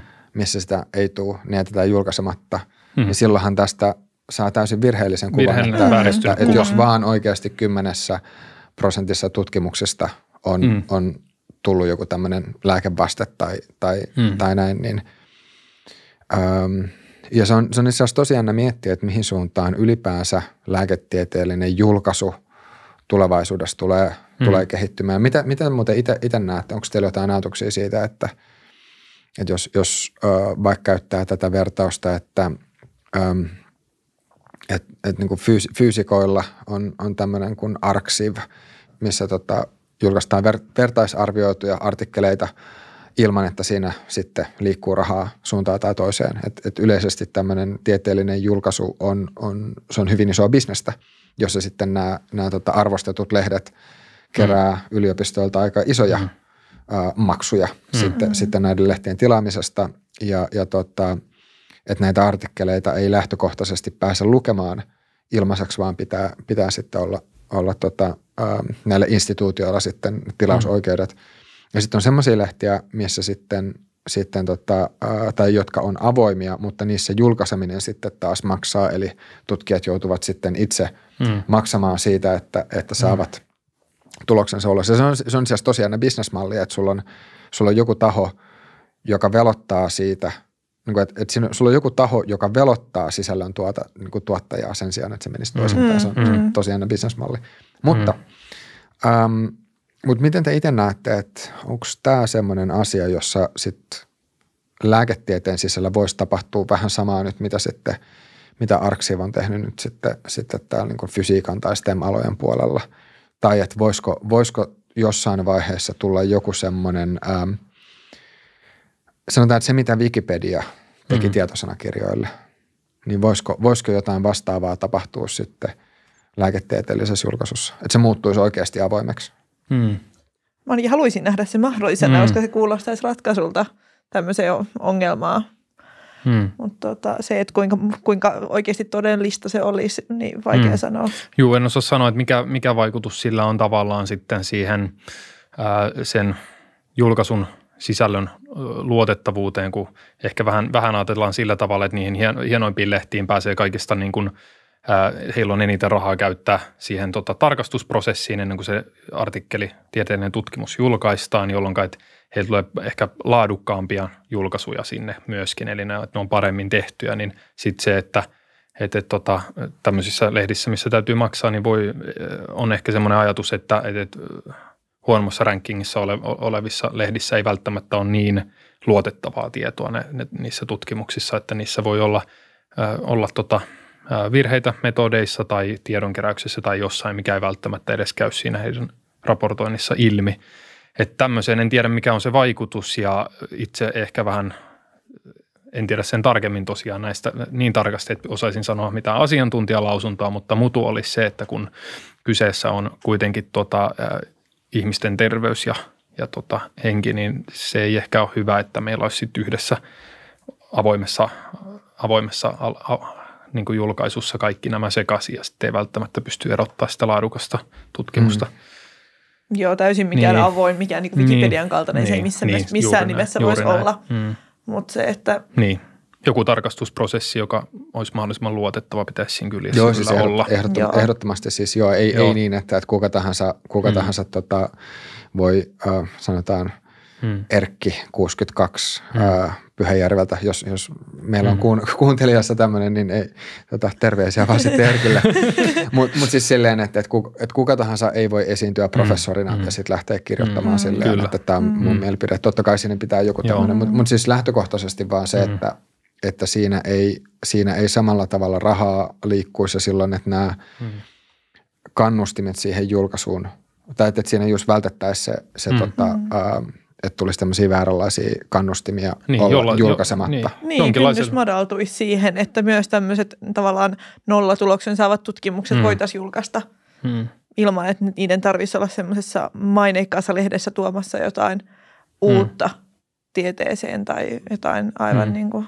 No mitä, miten jos, jos mietit, mietitään nyt vielä vastalääkettä, siis tätä, tätä teidän yhdistystä ja sitä, että teidän, teidän ajatus on just popularisoida tiedettä, niin – nyt kun tässä on puhuttu, voisi sanoa niin lääketieteen sisäisistä haasteista, niin mitä te veikkaatte, että kuinka helppo tämmöisiä asioita on kommunikoida tai sitten kertoa suurelle yleisölle?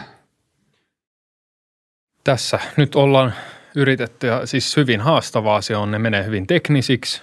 Eli, eli se, mitä itse tiedän, on melkoinen, niin kuin, melko lailla pinta, raapasu siitä, että – että monet niistä, jotka on näitä pohtimassa, ovat tilastotieteilijöitä juuri sen takia, että he pystyvät ymmärtämään oikeasti niitä, että mitä täällä tapahtuu täällä papereiden sisällä ja näin, että, että mikä tekee luotet, tutkimuksesta luotettavan ja tämmöiset. Hyvin vaikea on, on, on totta kai kommunikoida menemättä niin kuin tekniseksi ja, et, et, ja, ja myöskään sitten, että et kun osoittaa tämän, tämän niin kuin, ää, valmiuden myös siihen ää, kyseenalaistamaan sen tavallaan, että tai tunnistamaan sen, että on tämmöisiä kipukohteita, että, että tiedekin on itsessään sisältää tämmöisiä tiettyjä epävarmuustekijöitä, niin ilman, että se sitten lietsoo semmoista, että tieteeseen ei voi ollenkaan luottaa, niin se on kanssa oma, oma haasteensa. Että, että, että tuota, tähän niin kuin sanoisin, että, että näistä huolimatta kuitenkin niin tiede on, on paras keino saada, saada tuota tietoa todellisesta maailman todellisesta toiminnasta ja jota me olemme osa ja meidän kehot on osa, eli myöskin meidän kehojen sisällä vaikuttavista lääkeaineista tai mistä vaan. Että, hmm. No se onkin vaikeaa yrittää niin kuin selittää tämä, että tiede on monimutkaista ja tieteellinen tutkimus, vaikka se on yrittää kertoa parhaan mahdollisen totuuden, niin sekään ei kuitenkaan ole missään nimessä täysin mustavalkoista tai täysin eksaktia. Ja sitten jos jättää just lyhyesti, lyhyesti sanotun lopputuleman siihen, että asiat jää vähän auki, että tällä hetkellä näkemys on tämä, mutta tiedekin kehittyy ja asioita tutkitaan lisää, niin se on epätyydyttävä vastaus helposti. että kun lukija etsii nopeita, nopeasti luettavia, selkeitä vastauksia kysymyksiin, niin on vaikea, vaikea hmm. silleen raflaavasti ilmaista se, hmm. että miten, hmm. miten tie, tiede, asia, tiedeasian näkee. Niin, tämä on, itse asiassa tosi hyvä pointti, että jos miettii, että me viestinnän näkökulmasta, hmm. että minkä, minkälaista on hyvä viestintä, niin se on selkeää, hmm. ytimekästä ja voisi sanoa, että aika suoraviivasta. Hmm. Hmm. Ja siis kun tiede lähtökohtaisesti ei, ei ole hmm. semmoista. Okei, no jo, meillä voi olla joitain asioita, mitkä me tiedetään jo hyvin hmm. suurella todennäköisyydellä ja, ja hmm. näin, mutta varsinkin jos puhutaan uusista tutkimuksista, niin, niin tota, ää, epävarmuus kasvaa. Että, että sanotaan hmm. näin, että, että mikä nyt voisi olla hyvä esimerkki. No, mä pitäisin hyvin todennäköisenä, että me ei enää löydetä kolmatta olkapäätä ihmiseltä. Mm. Mistä? Siis niin kuin, mm. mutta siis silleen, että voidaan Kyllä. sanoa, että jotkut asiat nyt on vaan mm. näin. Mm. Mutta että mitä, mitä pidemmälle sinne, sinne tota, varsinkin uuteen, uuteen tutkimukseen mennään, niin just sitä, mm. sitä mm. epävarmemmaksi ne asiat, asiat menee, niin, mm. Niin se, että miten, miten nämä kaksi sovittaa, että voi sanoa, että teillä, teillä kyllä siinä on niin kuin, pitää, tai että pitää has, hattua nostaa, että se on, se on haastava paikka mm. olla. Mm. Kyllä. Tässä ehkä voisi vielä sen, sen tosiaan ää, mainita, että, että, että tavallaan se tiede, mitä me viestitään, on ää, usein osittain jo pureksitussa, ää, pureksitussa muodossa, joka kuitenkin sisältää ää, paljon viitteitä niin kuin tieteellisiin tämmöisiin – laadukkaisiin tieteellisiin julkaisuihin. Ää, tota, käypä hoito on yksi esimerkki näistä, näistä. Ja sitten tota, terveysportti, terveyskirjasto, joka on myös kansalaisille avoin. Ja ja nä, nämä on niin kuin lähtökohtaisesti ne, mitä me käytetään aineistona, semmoista niin kuin suomalaista ää, parasta asiantuntija ää, niin kuin näkemystä, jossa kyllä suurimmassa osassa on, on ihan niitä viitteitä siellä, että se ei ole mikään semmoinen vaan asiantuntijan mielipide, koska se asiantuntijan mielipidekään ää, ei, ei tota, itsessään ole mitään, vaan se on se, että siellä on se ta- tiedetaustalla ja hän osaa osoittaa sinne tieteeseen ja mm. näin, niin sitä me käytetään, että, että tosiaan kun ei olla akateemikkoja, niin me ei lähdetä sinne, että me voidaan tiedostaa näitä ja me toivotaan, että, että, että kaikki – vastalääkkeessä toimivat ja, ja myös meidän yleisö saisi sitä, sitä ymmärrystä, että, että, että, että, että tiede ei ole myöskään erehdy, erehtymätön. Meidän uskomukset jostain, meidän omatkin uskomukset siitä, että mistä on tieteellistä näyttöä puolesta, on saattanut muuttua. Että se onkin tieteessä todistettu nyt vastaan isommalla aineistolla, vahvemmalla näytöllä.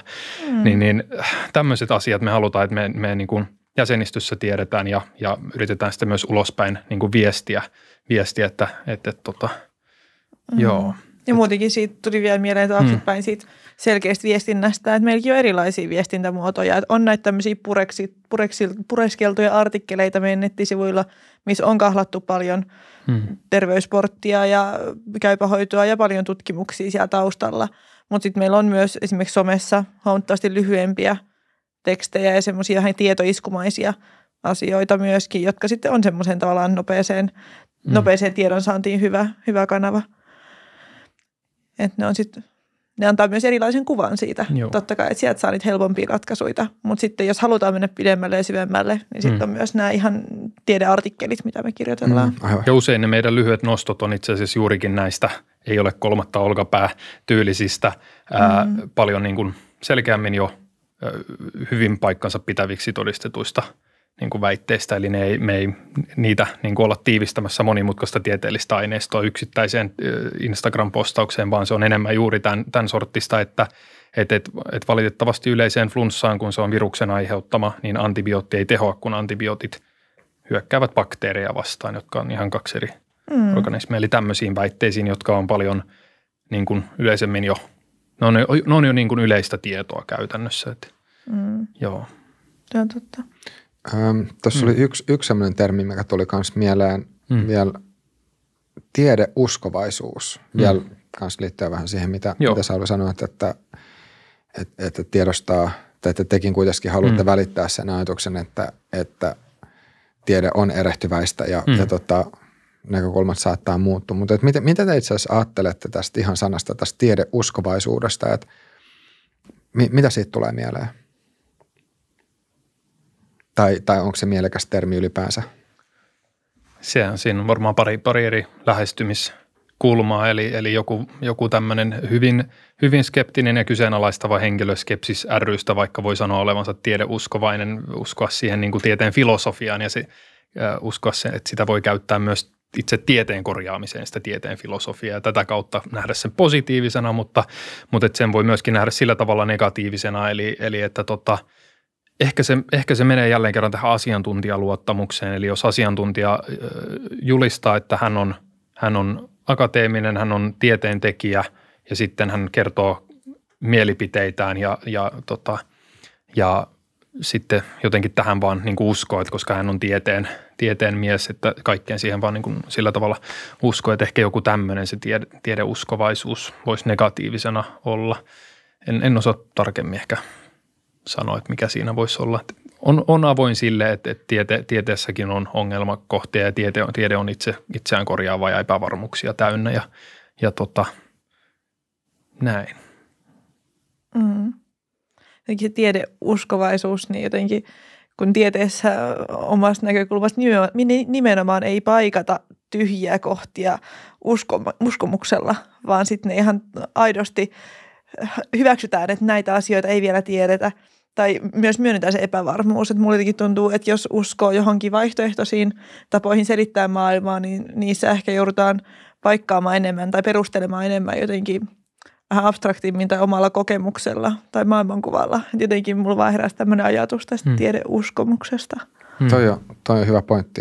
Uh, muistaakseni Richard Feynman ainakin yhdellä YouTubesta löytyvällä puhellaan, hmm. tai se on sen pätkä tämmöinen sen, sen haastattelusta tai sitten jostain luonnosta. Fyysikko, Nobel-fyysikko Richard joo, joo. Feynman. Joo. Niin tota, just, just kuvaa sitä, että miten, miten tota, jos nyt vapaasti suomentaa, että miten sille on ihan, tai että miten tämä Feynman on sinut sen kanssa, että, että, tota, että hän ei välttämättä, tai siis hmm. edes mennyt jo nyt, mutta että että miten oli sinut sen kanssa, että, että kaikki ei välttämättä tiedä ja että, mm. voi jättää tilaa semmoiselle mysteerille ja, ja olla ihan fine sen kanssa. Mutta mut just se, että, että kuinka helppo, että tätä on tullut pohtineeksi, että kuinka helppoa toi on ja kuinka, että jos, jos nyt otettaisiin vaikka tuhat ihmistä, niin kuinka monelle olisi luontevaa ajatella niin, että maailmassa voi olla paljon semmoisia asioita, jotenkin tosi fundamentaalisella tai niin kuin perustavalla tasolla olevia asioita,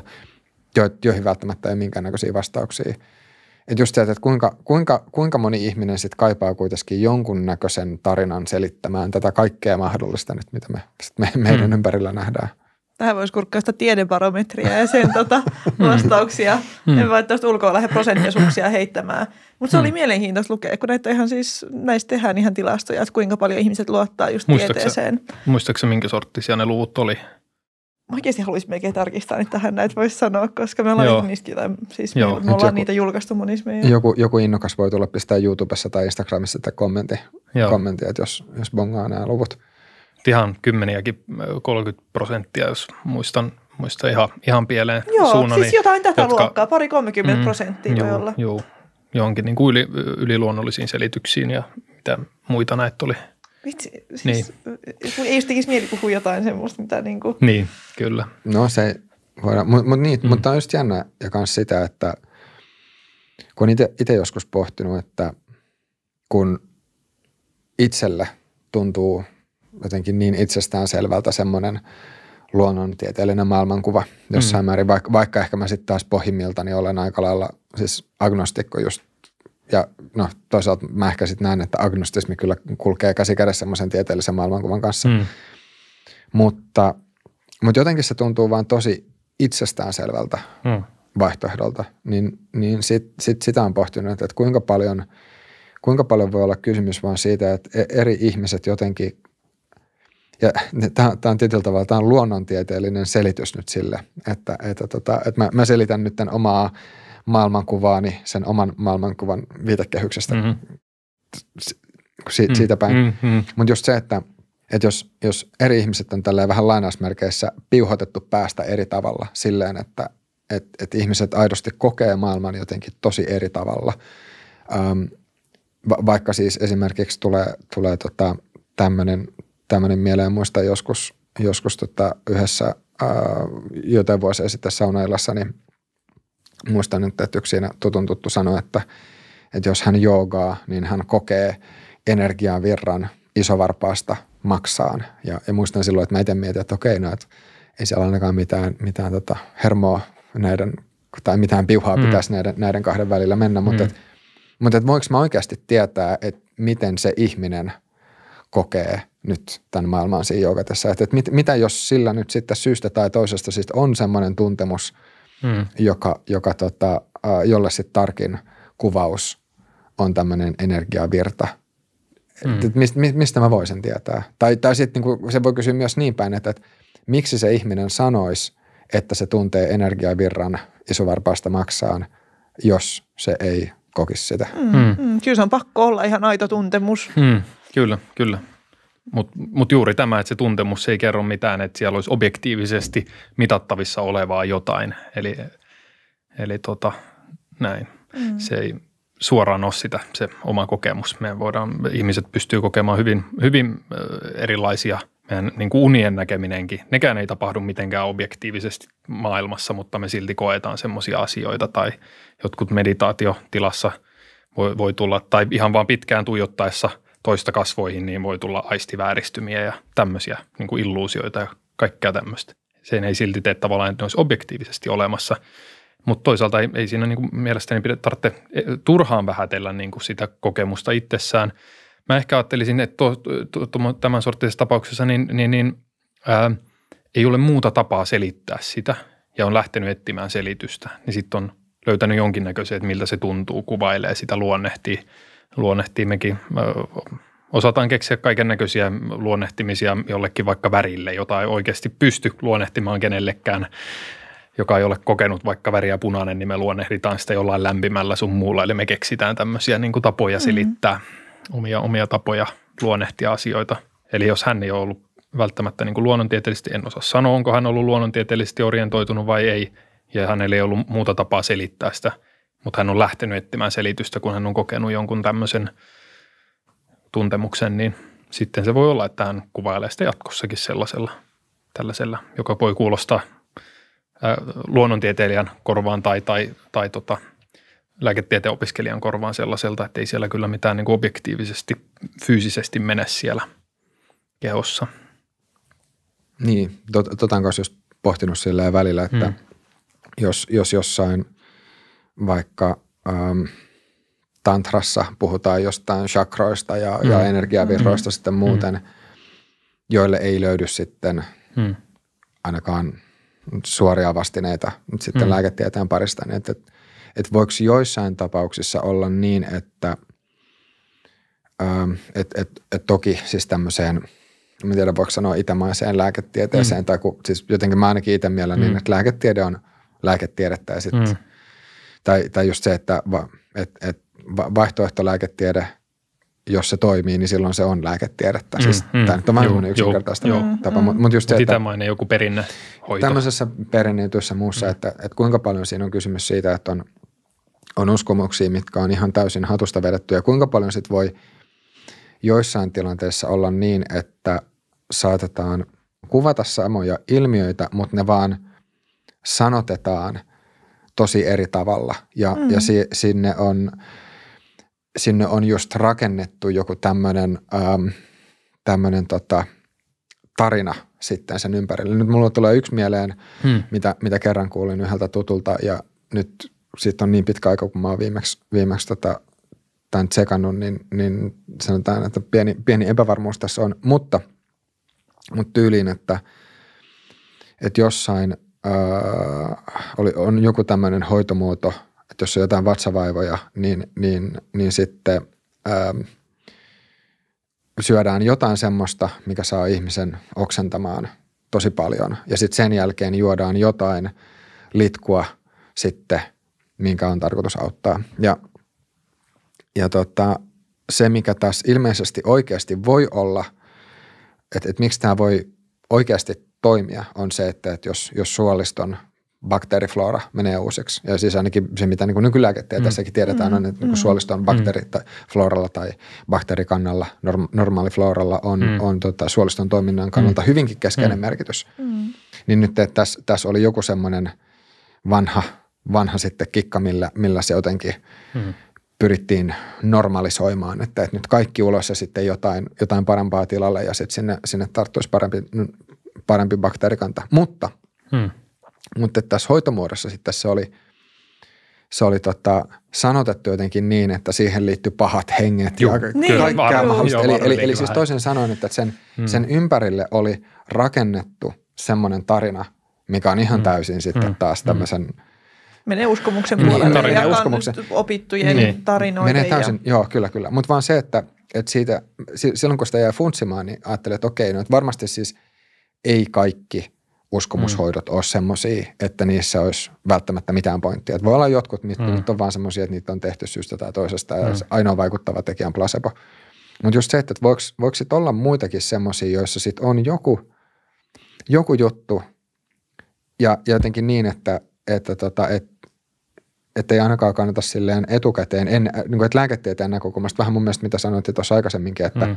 Että ennen kuin jotain asiaa on tutkittu, niin ei myöskään voi sanoa, etteikö se sitten taas niin varmuudella ei voi sanoa, etteikö se sitten myös voisi toimia. Mm. Tai siinä ei olisi totuuden siementä. Niin, Niin, joo. juuri Eli näin, just jos miettii juuri tätä oksentamis- ja uudelleen jotain parempaa juomisrituaalia, mm. niin kyllähän nyt ihan oikeasti ulosteen siirtoja tutkitaan ja niistä on saatu tosi hyviä tuloksia ja tämä on ihan niin kuin nykypäivän lääketiedettä mm. myöskin. Et toki tämä siitä täytyy ehkä niin kuin hyvin paljon karsia ja lähteä sitä samaa ideologiaa rakentaa vähän eri suuntaan, mutta kyllä se on sama niin kuin siemen ollut taustalla. Mm. Ja siinä on mun mielestä jälleen kerran se, että heillä, mä näkisin, että heillä ei ole ollut muuta parempaa tapaa selittää sitä, että miksi, miksi he on mm. huomanneet monissa eri tapatilanteissa. On varmasti monesti tehnyt sitä ja sen jälkeen se on vasta sitten vakiintunut kerran huomannut, että ehkä tämä auttokin ja sitten tehnyt monesti ja sitten se on jäänyt perimätiedoksi joku tämmöinen, syntynyt se tarina siihen ympärille. Mutta se juuri se tarina on sitä, että heillä ei ollut muutakaan parempaa keinoa selittää sitä, että mm. miksi se tapahtuu. Jep, joku tapahtuu keino se selittää, ja- miksi Mm, tai mikä mm. tässä on taustalla. Niin. Ja Kun kun taas sit taas tulee- tieteessä ei niin. rakenneta mitään tämmöistä, niin kuin, Mm. Ei rakenneta tällä uskomuksen varaa mitään siihen ympärillekään. Mm, Että. mm. Se rakentuu niin kuin tieteen päälle se Mm. seuraavat selitykset. Joo. Joo. Mä voisin semmoisen kysyä vielä, hmm. vielä tota, tänne loppupuolelle, että mikä on saanut teidät kiinnostumaan lääketieteestä ja ehkä sitten siihen kanssa vielä perään, että, että missä, missä te kuvittelisitte tai ehkä haluaisitte nähdä ittenne muutaman vuoden kuluttua tällä kentällä? No mulla heräsi lukioikäisenä ajatus siitä, että haluan lääkikseen, mutta on ollut aina luonnontiede orientoitunut ja ehkä muutenkin siihen aikaan oli vaikea kuvitella, että no mitä sitten kun on oikeasti aikuinen ja oikeasti töissä ja ne ei ole ikinä sairaalassa käynyt muutenkaan, niin aivan mahdoton ehkä kuvitellakaan sitä, että mitä se on. Mutta sitten mä aloin miettiä, että mikä on ehkä se kaikista kiinnostavin asia, mitä haluaa lähteä opiskelemaan. Että mihin, mi- mikä on semmoinen, mihin, tavallaan mihin kyltymättömästi haluaa perehtyä lisää, niin kyllä se oli ihmiskeho ja sen toiminta ja semmoinen, että niin kuin, miksi, miksi asiat tapahtuu. Ja kun kuitenkin ihmiskeho on ehkä asia, mihin me päästään lähimmäksi ihan konkreettisestikin, niin tota, ja sitten siihen vielä yhdistettynä se auttamisen halu ja jotenkin siihen ympärille ehkä on sit nivoutunut se oma lääkäriys. Ja tota, tulevaisuuteen on vaikea nähdä, mutta tota, mä innolla odotan, mitä... Eh- Ehkä, mitä... ehkä sun pitäisi harkita jollekin tämmöiselle ennust- ennustaja. Mä en tiedä, onko mitä, mitkä, mitä kaikki uskomushoitoja, missä on kristallipalloja ja muita, niin ehkä se voisi olla Mä nähdään, että kysyy, ehkä hän tietää. Joo. Joo, tota, äh, mä oon aina, mä olin ehkä äh, ihan pienenä enemmän semmoinen insinööri, insinöörin alku äh, toisaalta, tai osittain sen takia, että isä oli insinööri, mutta kuitenkin aina se mielenkiinto, kiinnostus kaikkea uutta ja miten kaikki toimii. Mulla oli semmoinen kirja, jonka nimi, nimi oli Mulla oli Miten kans- kaikki toimii. Mulla oli myös sama kirja. Ja mä sain Miten kaikki toimii uusi, Miten kaikki toimii, joka oli paljon paksumpi. Ja siis si, si, Tässä se on semmoinen tiedonjano, tiedettä. se, oli, se oli muuten huikea kirja, se Joo, mitä kaikki ko- joo. toimii. se oli, se oli ja tota, se sitten lukion aikana, niin äh, mä rupesin miettimään, että, että, että kiinnostaa kyllä äh, monen näköinen, näköinen mutta tota, mä haluaisin äh, niin kuin erityisesti semmoisen selkeäseen ammattiin, että vaikka semmoista tutkija-intoakin on, niin selkeäseen ammattiin, missä mä pystyn olemaan mun, mun niin kuin kapasiteettini suhteen mahdollisimman paljon avuksi muille. Ja sitten mä ajattelin, että sieltä niin kuin lääketieteen takakin löytyy myöskin psyki, psykiatria, neurotieteet, jotka oli myöskin jotka on edelleenkin, ne on ollut sieltä lukiosta saakka erittäin kiinnostavia, että se fysiikka oli vähän niin kuin se pohja ja lukiossa pääsi lukemaan ja perehtymään itsekseen ja sitten alkoi kiinnostaa aina vaan ylemmät tasot, tasot sitten, tota, eli, eli ihmiskeho ja ihmismieli ja, ja nyt sitten viimeisimpänä myös yhteiskunta ja yhteiskunnan ja ihmismielen ja yht, yht, yhteys, eli äh, vaikea sanoa itsekin, että missä näin. Äh, psykiatria ja yleislääketiede kiinnostaa erityisesti niin kuin ura, urapolkuina sillä, sillä tavalla, että tota, ää, näen, että ne on semmoisia, missä näkyy kaikkea tätä yhteis- myös sitä yhteiskunnallista erityisesti, että se ei vaan fokusoidu vaikka yhteen ruumiin osaan, vaan siinä näkyy se ihmiset ja, ja yhteisö, jota pääsee auttamaan ja näin. Mutta muuten uskon, että moni, moni ovi on vielä auki, auki äh, mihin, mihin vaan tota, mahdolliseen, tut, miksei tutkijan uraankin. Joo. Oliko teillä siis kuinka paljon sukurasitetta tähän lääkäriyteen?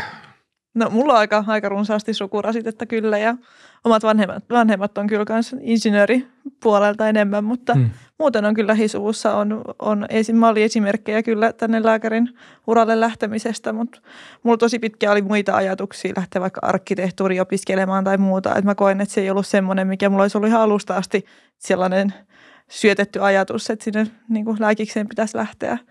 Mutta se on ollut kiva, että sitten kuitenkin on semmoisia niin ihmisiä, keitä voi kysyä ja ketkä ymmärtää hyvin meidän opintoja ja näkee paljon erilaisia niin kuin, mahdollisia urapolkuja ympärillä, mi- mihin voisi lähteä. Mutta kuitenkin koen hyvin, että pystyy kyllä tehdä itse omat valintansa. Et tuntuu, että kaikki ovet on vielä tässä vaiheessa auki, että mihin, mihin lähtisi sitten vaikka erikoistumaan tai millaiseen työhön lähtisi sitten tästä eteenpäin. Miten, miten te veikkaatte, jos, jos pitäisi nyt vielä vähän ottaa sitä ennustajahattua päähän, että, että minkälaiseksi lääketiede tulee kehittymään tässä sanotaan vaikka 20 vuoden aikana. Että jos, jos vaikka miettii nyt sitä, että tekoäly kehittyy huimaa vauhtia, robotisaatiota tapahtuu nyt, nyt tällä hetkellä Elon Muskin Neuralink-projekti, niin siellä, siellä tota on, on jo aika pitkällä ollaan siinä, että miten saadaan tämmöinen leikkausrobotti asentamaan chippi tai mikrosiru pään sisään sitten, ähm, niin mitä te veikkaatte? Onko lääkäreille 20 vuoden kuluttua töitä? Tarvitaanko lääkäreitä enää yhtään mihinkään vai hoitaako robotit kaiken? 20 vuotta vähän lyhkänen vielä. Ää, mä, no, tämä on ehkä vähän helppokin vastaus. Eli siis jos miettii, mitä meidän isovanhemmat on kokenut elämänsä aikana, mitä ne on nähnyt, niin se on helppo sanoa, että meidän elinaikana tulee olemaan jotain niin kuin ihan, ihan semmoisia mullistuksia, mitä ei voi edes, edes niin kuin arvata. Mutta jotain tämmöistä siinä niin kuin lähi ehkä 30 vuotta. Ehkä, ehkä niin kuin joissain aloilla näkyy tämä tekoäly kuvan tunnistuksissa tämmöisissä alkaa tulemaan. tulemaan tota, on koittanut haastatella aina saada vähän anekdootteja, että mitä mieltä joku radiologi on, että saattaako uhata hänen työtään nämä kuvan tunnistusohjelmistot. Että jos ne tehostaa työn moninkertaiseksi, niin eikö se tarkoita, että me tarvitaan vain yksi radiologi monen sijaan lausumaan mm. sama määrä kuvia ja tämmöisiä. Että sitten tämä robotiikka on ehkä, siinä on se ongelma, kun ohjelmistoa voi kopioida niin monta kuin huvittaa niin kuin käytännössä ilmaiseksi. Mutta sitten robotiikassa tarvitsee monimutkaisen laitteen, jota tarvitsee huolta ja näin. Että se, sen mä uskon, että se tulee paljon myöhemmin vasta. Mm. vasta. Että tota, tästä Neuralinkistä se on toisaalta aika tarkkaan yksittäiseen niin kuin alaan, eli neurologiaan, sillä ajatellaan ensi, alkuun, alkuun hoitaa, hoitaa tuota neurologisia – tai neuro, neurologisia sairauksia, kenties halvaantumisia tai jotain tämmöisiäkin jopa, jopa niin kuin helpottaa. Mutta en ehkä sanoisi, että 20-30 vuodessa mitään maailman mullistavaa, niin kuin kaikilla aloilla mennään toisilla aloilla isompia harppauksia. Se on niin kuin semmoista ollut tähänkin mennessä nämä viimeiset vuosikymmenet. Mm. Mä ajattelisin, että tämä on, ei ole kyllä todellakaan etunenässä niistä aloista, joita tekoäly uhkaisi. enemmän mä koen, että tästä saadaan vaan niin kuin, lääketiede kehittyy ja saadaan te, niin kuin, tehostettua sitä toimintaa, mutta kyllä mä koen silti, että se ihan semmoinen niin kliininen käsityö, niin sitä on vaikea korvata millään robotiikalla tai tekoälyllä. Et en, en ainakaan tässä murehtisi, että tulevaisuuden työpaikkaa olisi uhattuna. Niin, eikö se, eikö se vanha sanonta että, että tota, menee katsoa potilaan nenänpään. Juuri tämän nenänpää, nenänpää tota, Mielestäni on aika hauska. Mielestäni on aika hauska. Miten te muuten itse, tota, ää, mistä, mistä teidän mielestä siinä on kysymys? Tämän nenänpään kattominen. Tai jos sitä nyt kuulijoille avaa vähän enemmän. Öö.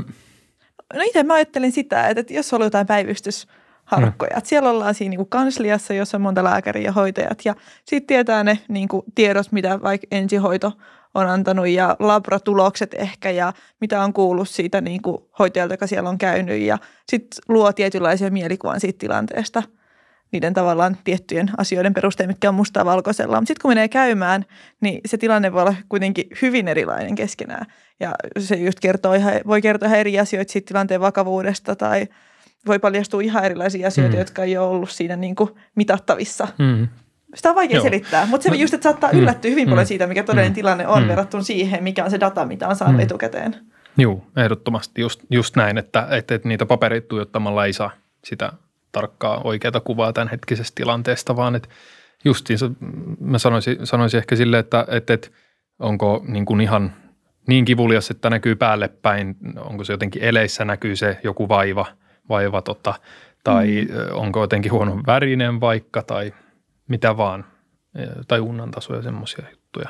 Kyllä siitä nenän päästä, niin sanotusti nenän päästä, eli nähdään. Ja nenän päästä näkee aika paljon kanssa ehkä sitä, että mikä on myös toisaalta niin kuin semmoinen psyykkinen puoli. Kyllä se aika paljon näkyy, hmm. psykiatriastakin puhuttiin hmm. ja itsekin on siellä puolella töitä tehnyt jonkun verran, niin kyllä on semmoinen, mitä ei pysty just mitenkään ehkä hmm. paperilta ilmaisemaan, mutta minkä hyvin nopeasti hmm. pystyy hmm. näin ns. nenän päästä Ilmeistä joo, että onko se vointi ja eleistä, hyvä vai olemuksesta, huono. Hmm. kommunikaatiosta, mikä voi olla tosi merkittävä osa myös sitä niin kuin hoitoa, niin hmm. semmoinenkin. Jos, jos jollekulle kuulijalle nyt ei vielä olisi avautunut, niin nenän päällä siis viitataan muuhun kuin siihen kirjaimelliseen nenän päähän. Mutta se, on, se on tosi hauska sanonta. Se on hauska, syystä. joo. Tuota, um, joo, nyt ollaan kyllä aika hyvin ehitty näitä eri teemoja käsittelemään mm. tässä. Onko jotain semmoista vielä, mitä te haluaisitte, nyt meillä on tuossa noin muutama minuutti aikaa, niin vielä mitä haluaisitte nostaa tähän esille? Ja varsinkin nyt tähän vasta, vastalääkkeeseen liittyen. No mä sanoisin, sanoisin silleen just vähän summaten tätä, jonka ehkä kertaalle jo sanoinkin. Eli, eli että et, et, et mikään, mikään mainoslause, kaverin suositus tai, tai mikään tämmöinen omakohtainen yksittäinen kokemus ei riitä tavallaan todistusaineistoksi, että joku hoito – toimii tai että jokin asia se selittyy just sillä tavalla, kun sinä ajattelet tai joku kaveri on se sulle suositellut, vaan, vaan tota, tiede on se ainoa, länsimainen tiede on se ainoa, ainoa äh, paras, siis ei ole ainoa, mutta se on paras menetelmä siihen, vaikka silläkin on omat ongelmansa. Ja se on hyvä tiedostaa tavallaan juuri tämä, tämä siinä. Ja se on myös mitä vastalääke haluaa tavallaan siinä viestinnässä, että, me halutaan tuoda sitä luotettavaa tietoa, mutta myöskin se, se että, että niin kuin mekin tiedostetaan kyllä se, se tiede ei ole täydellistä, se on itseään korjaavaa ja sinne tarvitaan vielä, vielä lisää hienoja ihmisiä korjaamaan sitä, niitä itsekorjausmekanismeja vielä entisestä. Eli tälleen mä ehkä summaisin. Mm. Se just on tärkeää, että sitten että ne tieteellisten tutkimusten tulokset ei jää vaan asiaan vihkiytyneiden ja siihen niin kuin asioita itse selvittävien tietoon, vaan just se, että myös se kaikki tieto, mihin ihmiset törmäisi mediassa ja törmää sitä kännykän feedia selatessaan, niin että sielläkin olisi, tulisi se tiete- tieteen todistama tieto näkyville. Et jos jos niin kuin tieteen tekijät ja akateemikot ei sitä tule sinne mediaan kertomaan, niin kyllä joku muu sitten täyttää sen tietotyhjön. Hmm. Jos ei selitystä löydy, niin kyllä viimeistään sitten joku vaikuttaja tuo oman näkemyksensä ilmi. Ja halutaanko me, että se on se ainoa, mikä siellä somessa näkyy ja mediassa näkyy, niin siihen sitten sitä vastaan työskennellään. Mm. Hmm. Voiko, voiko tämä nähdä myös sellaisella tavalla, että te myös omalla toiminnalla, omalla toiminnalla, om, omalla toiminnallanne haluatte kannustaa uh, muitakin lääkäreitä tai sitten voi sanoa vaikka terveysasiantuntijoita tai ketä tahansa muuta popularisoimaan sitä tiedettä? Joo, tätä ehdottomasti. Että vastalääke on nimenomaan tuonut mahdollisuuden itselle ja monelle koulukaverille siihen, että pystyy tulemaan esille mediassa, mutta ilman, että tarvii ehkä omilla kasvoilla ja omalla nimellä ottaa itse kokonaan sitä vastuuta, vaan että on tavallaan yhdistys, jonka takana pystyy olemaan ja jonka puolesta puhumaan. Ja toisaalta saa sen vertaistuen kaikilta sit yhdistyksen muita jäseniltä, että ei tarvitse tavallaan yksin olla siinä taistelemassa niin sanotusti, vaan on tämmöinen tukijoukko ympärillä. Ja voi yhdessä kanssa pohtia asioita ja tavallaan tuoda sen yhdessä pureskellun lopputuleman sit kansalle, eikä vaan sitä mun omaa henkilökohtaista mielipidettä. Mm. All right, mutta hei, nyt musta tuntuu, että saatiin erinomainen mm. keskustelu. Miia ja Sauli, oikein paljon kiitoksia teille molemmille. Ja kertokaa vielä, että mistä vastalääkkeen löytää. Vastalääkkeen löytää meidän nettisivuilta vastalaake.fi. Ja sitten me ollaan myös somessa, Instagramissa ja Facebookissa. Eli sieltä kannattaa ottaa seurantaa. Me sinne aina hmm. päivitellään sitä mukaan, kun uutta, uutta materiaalia tulee kanaviin. All right. Mutta hei, kiitoksia tosiaan teille ja kiitoksia kaikille katselijoille ja kuuntelijoille. Muistakaa pistää kommentteja sekä tubessa että Instagramissa ja me nähdään ensi jaksossa.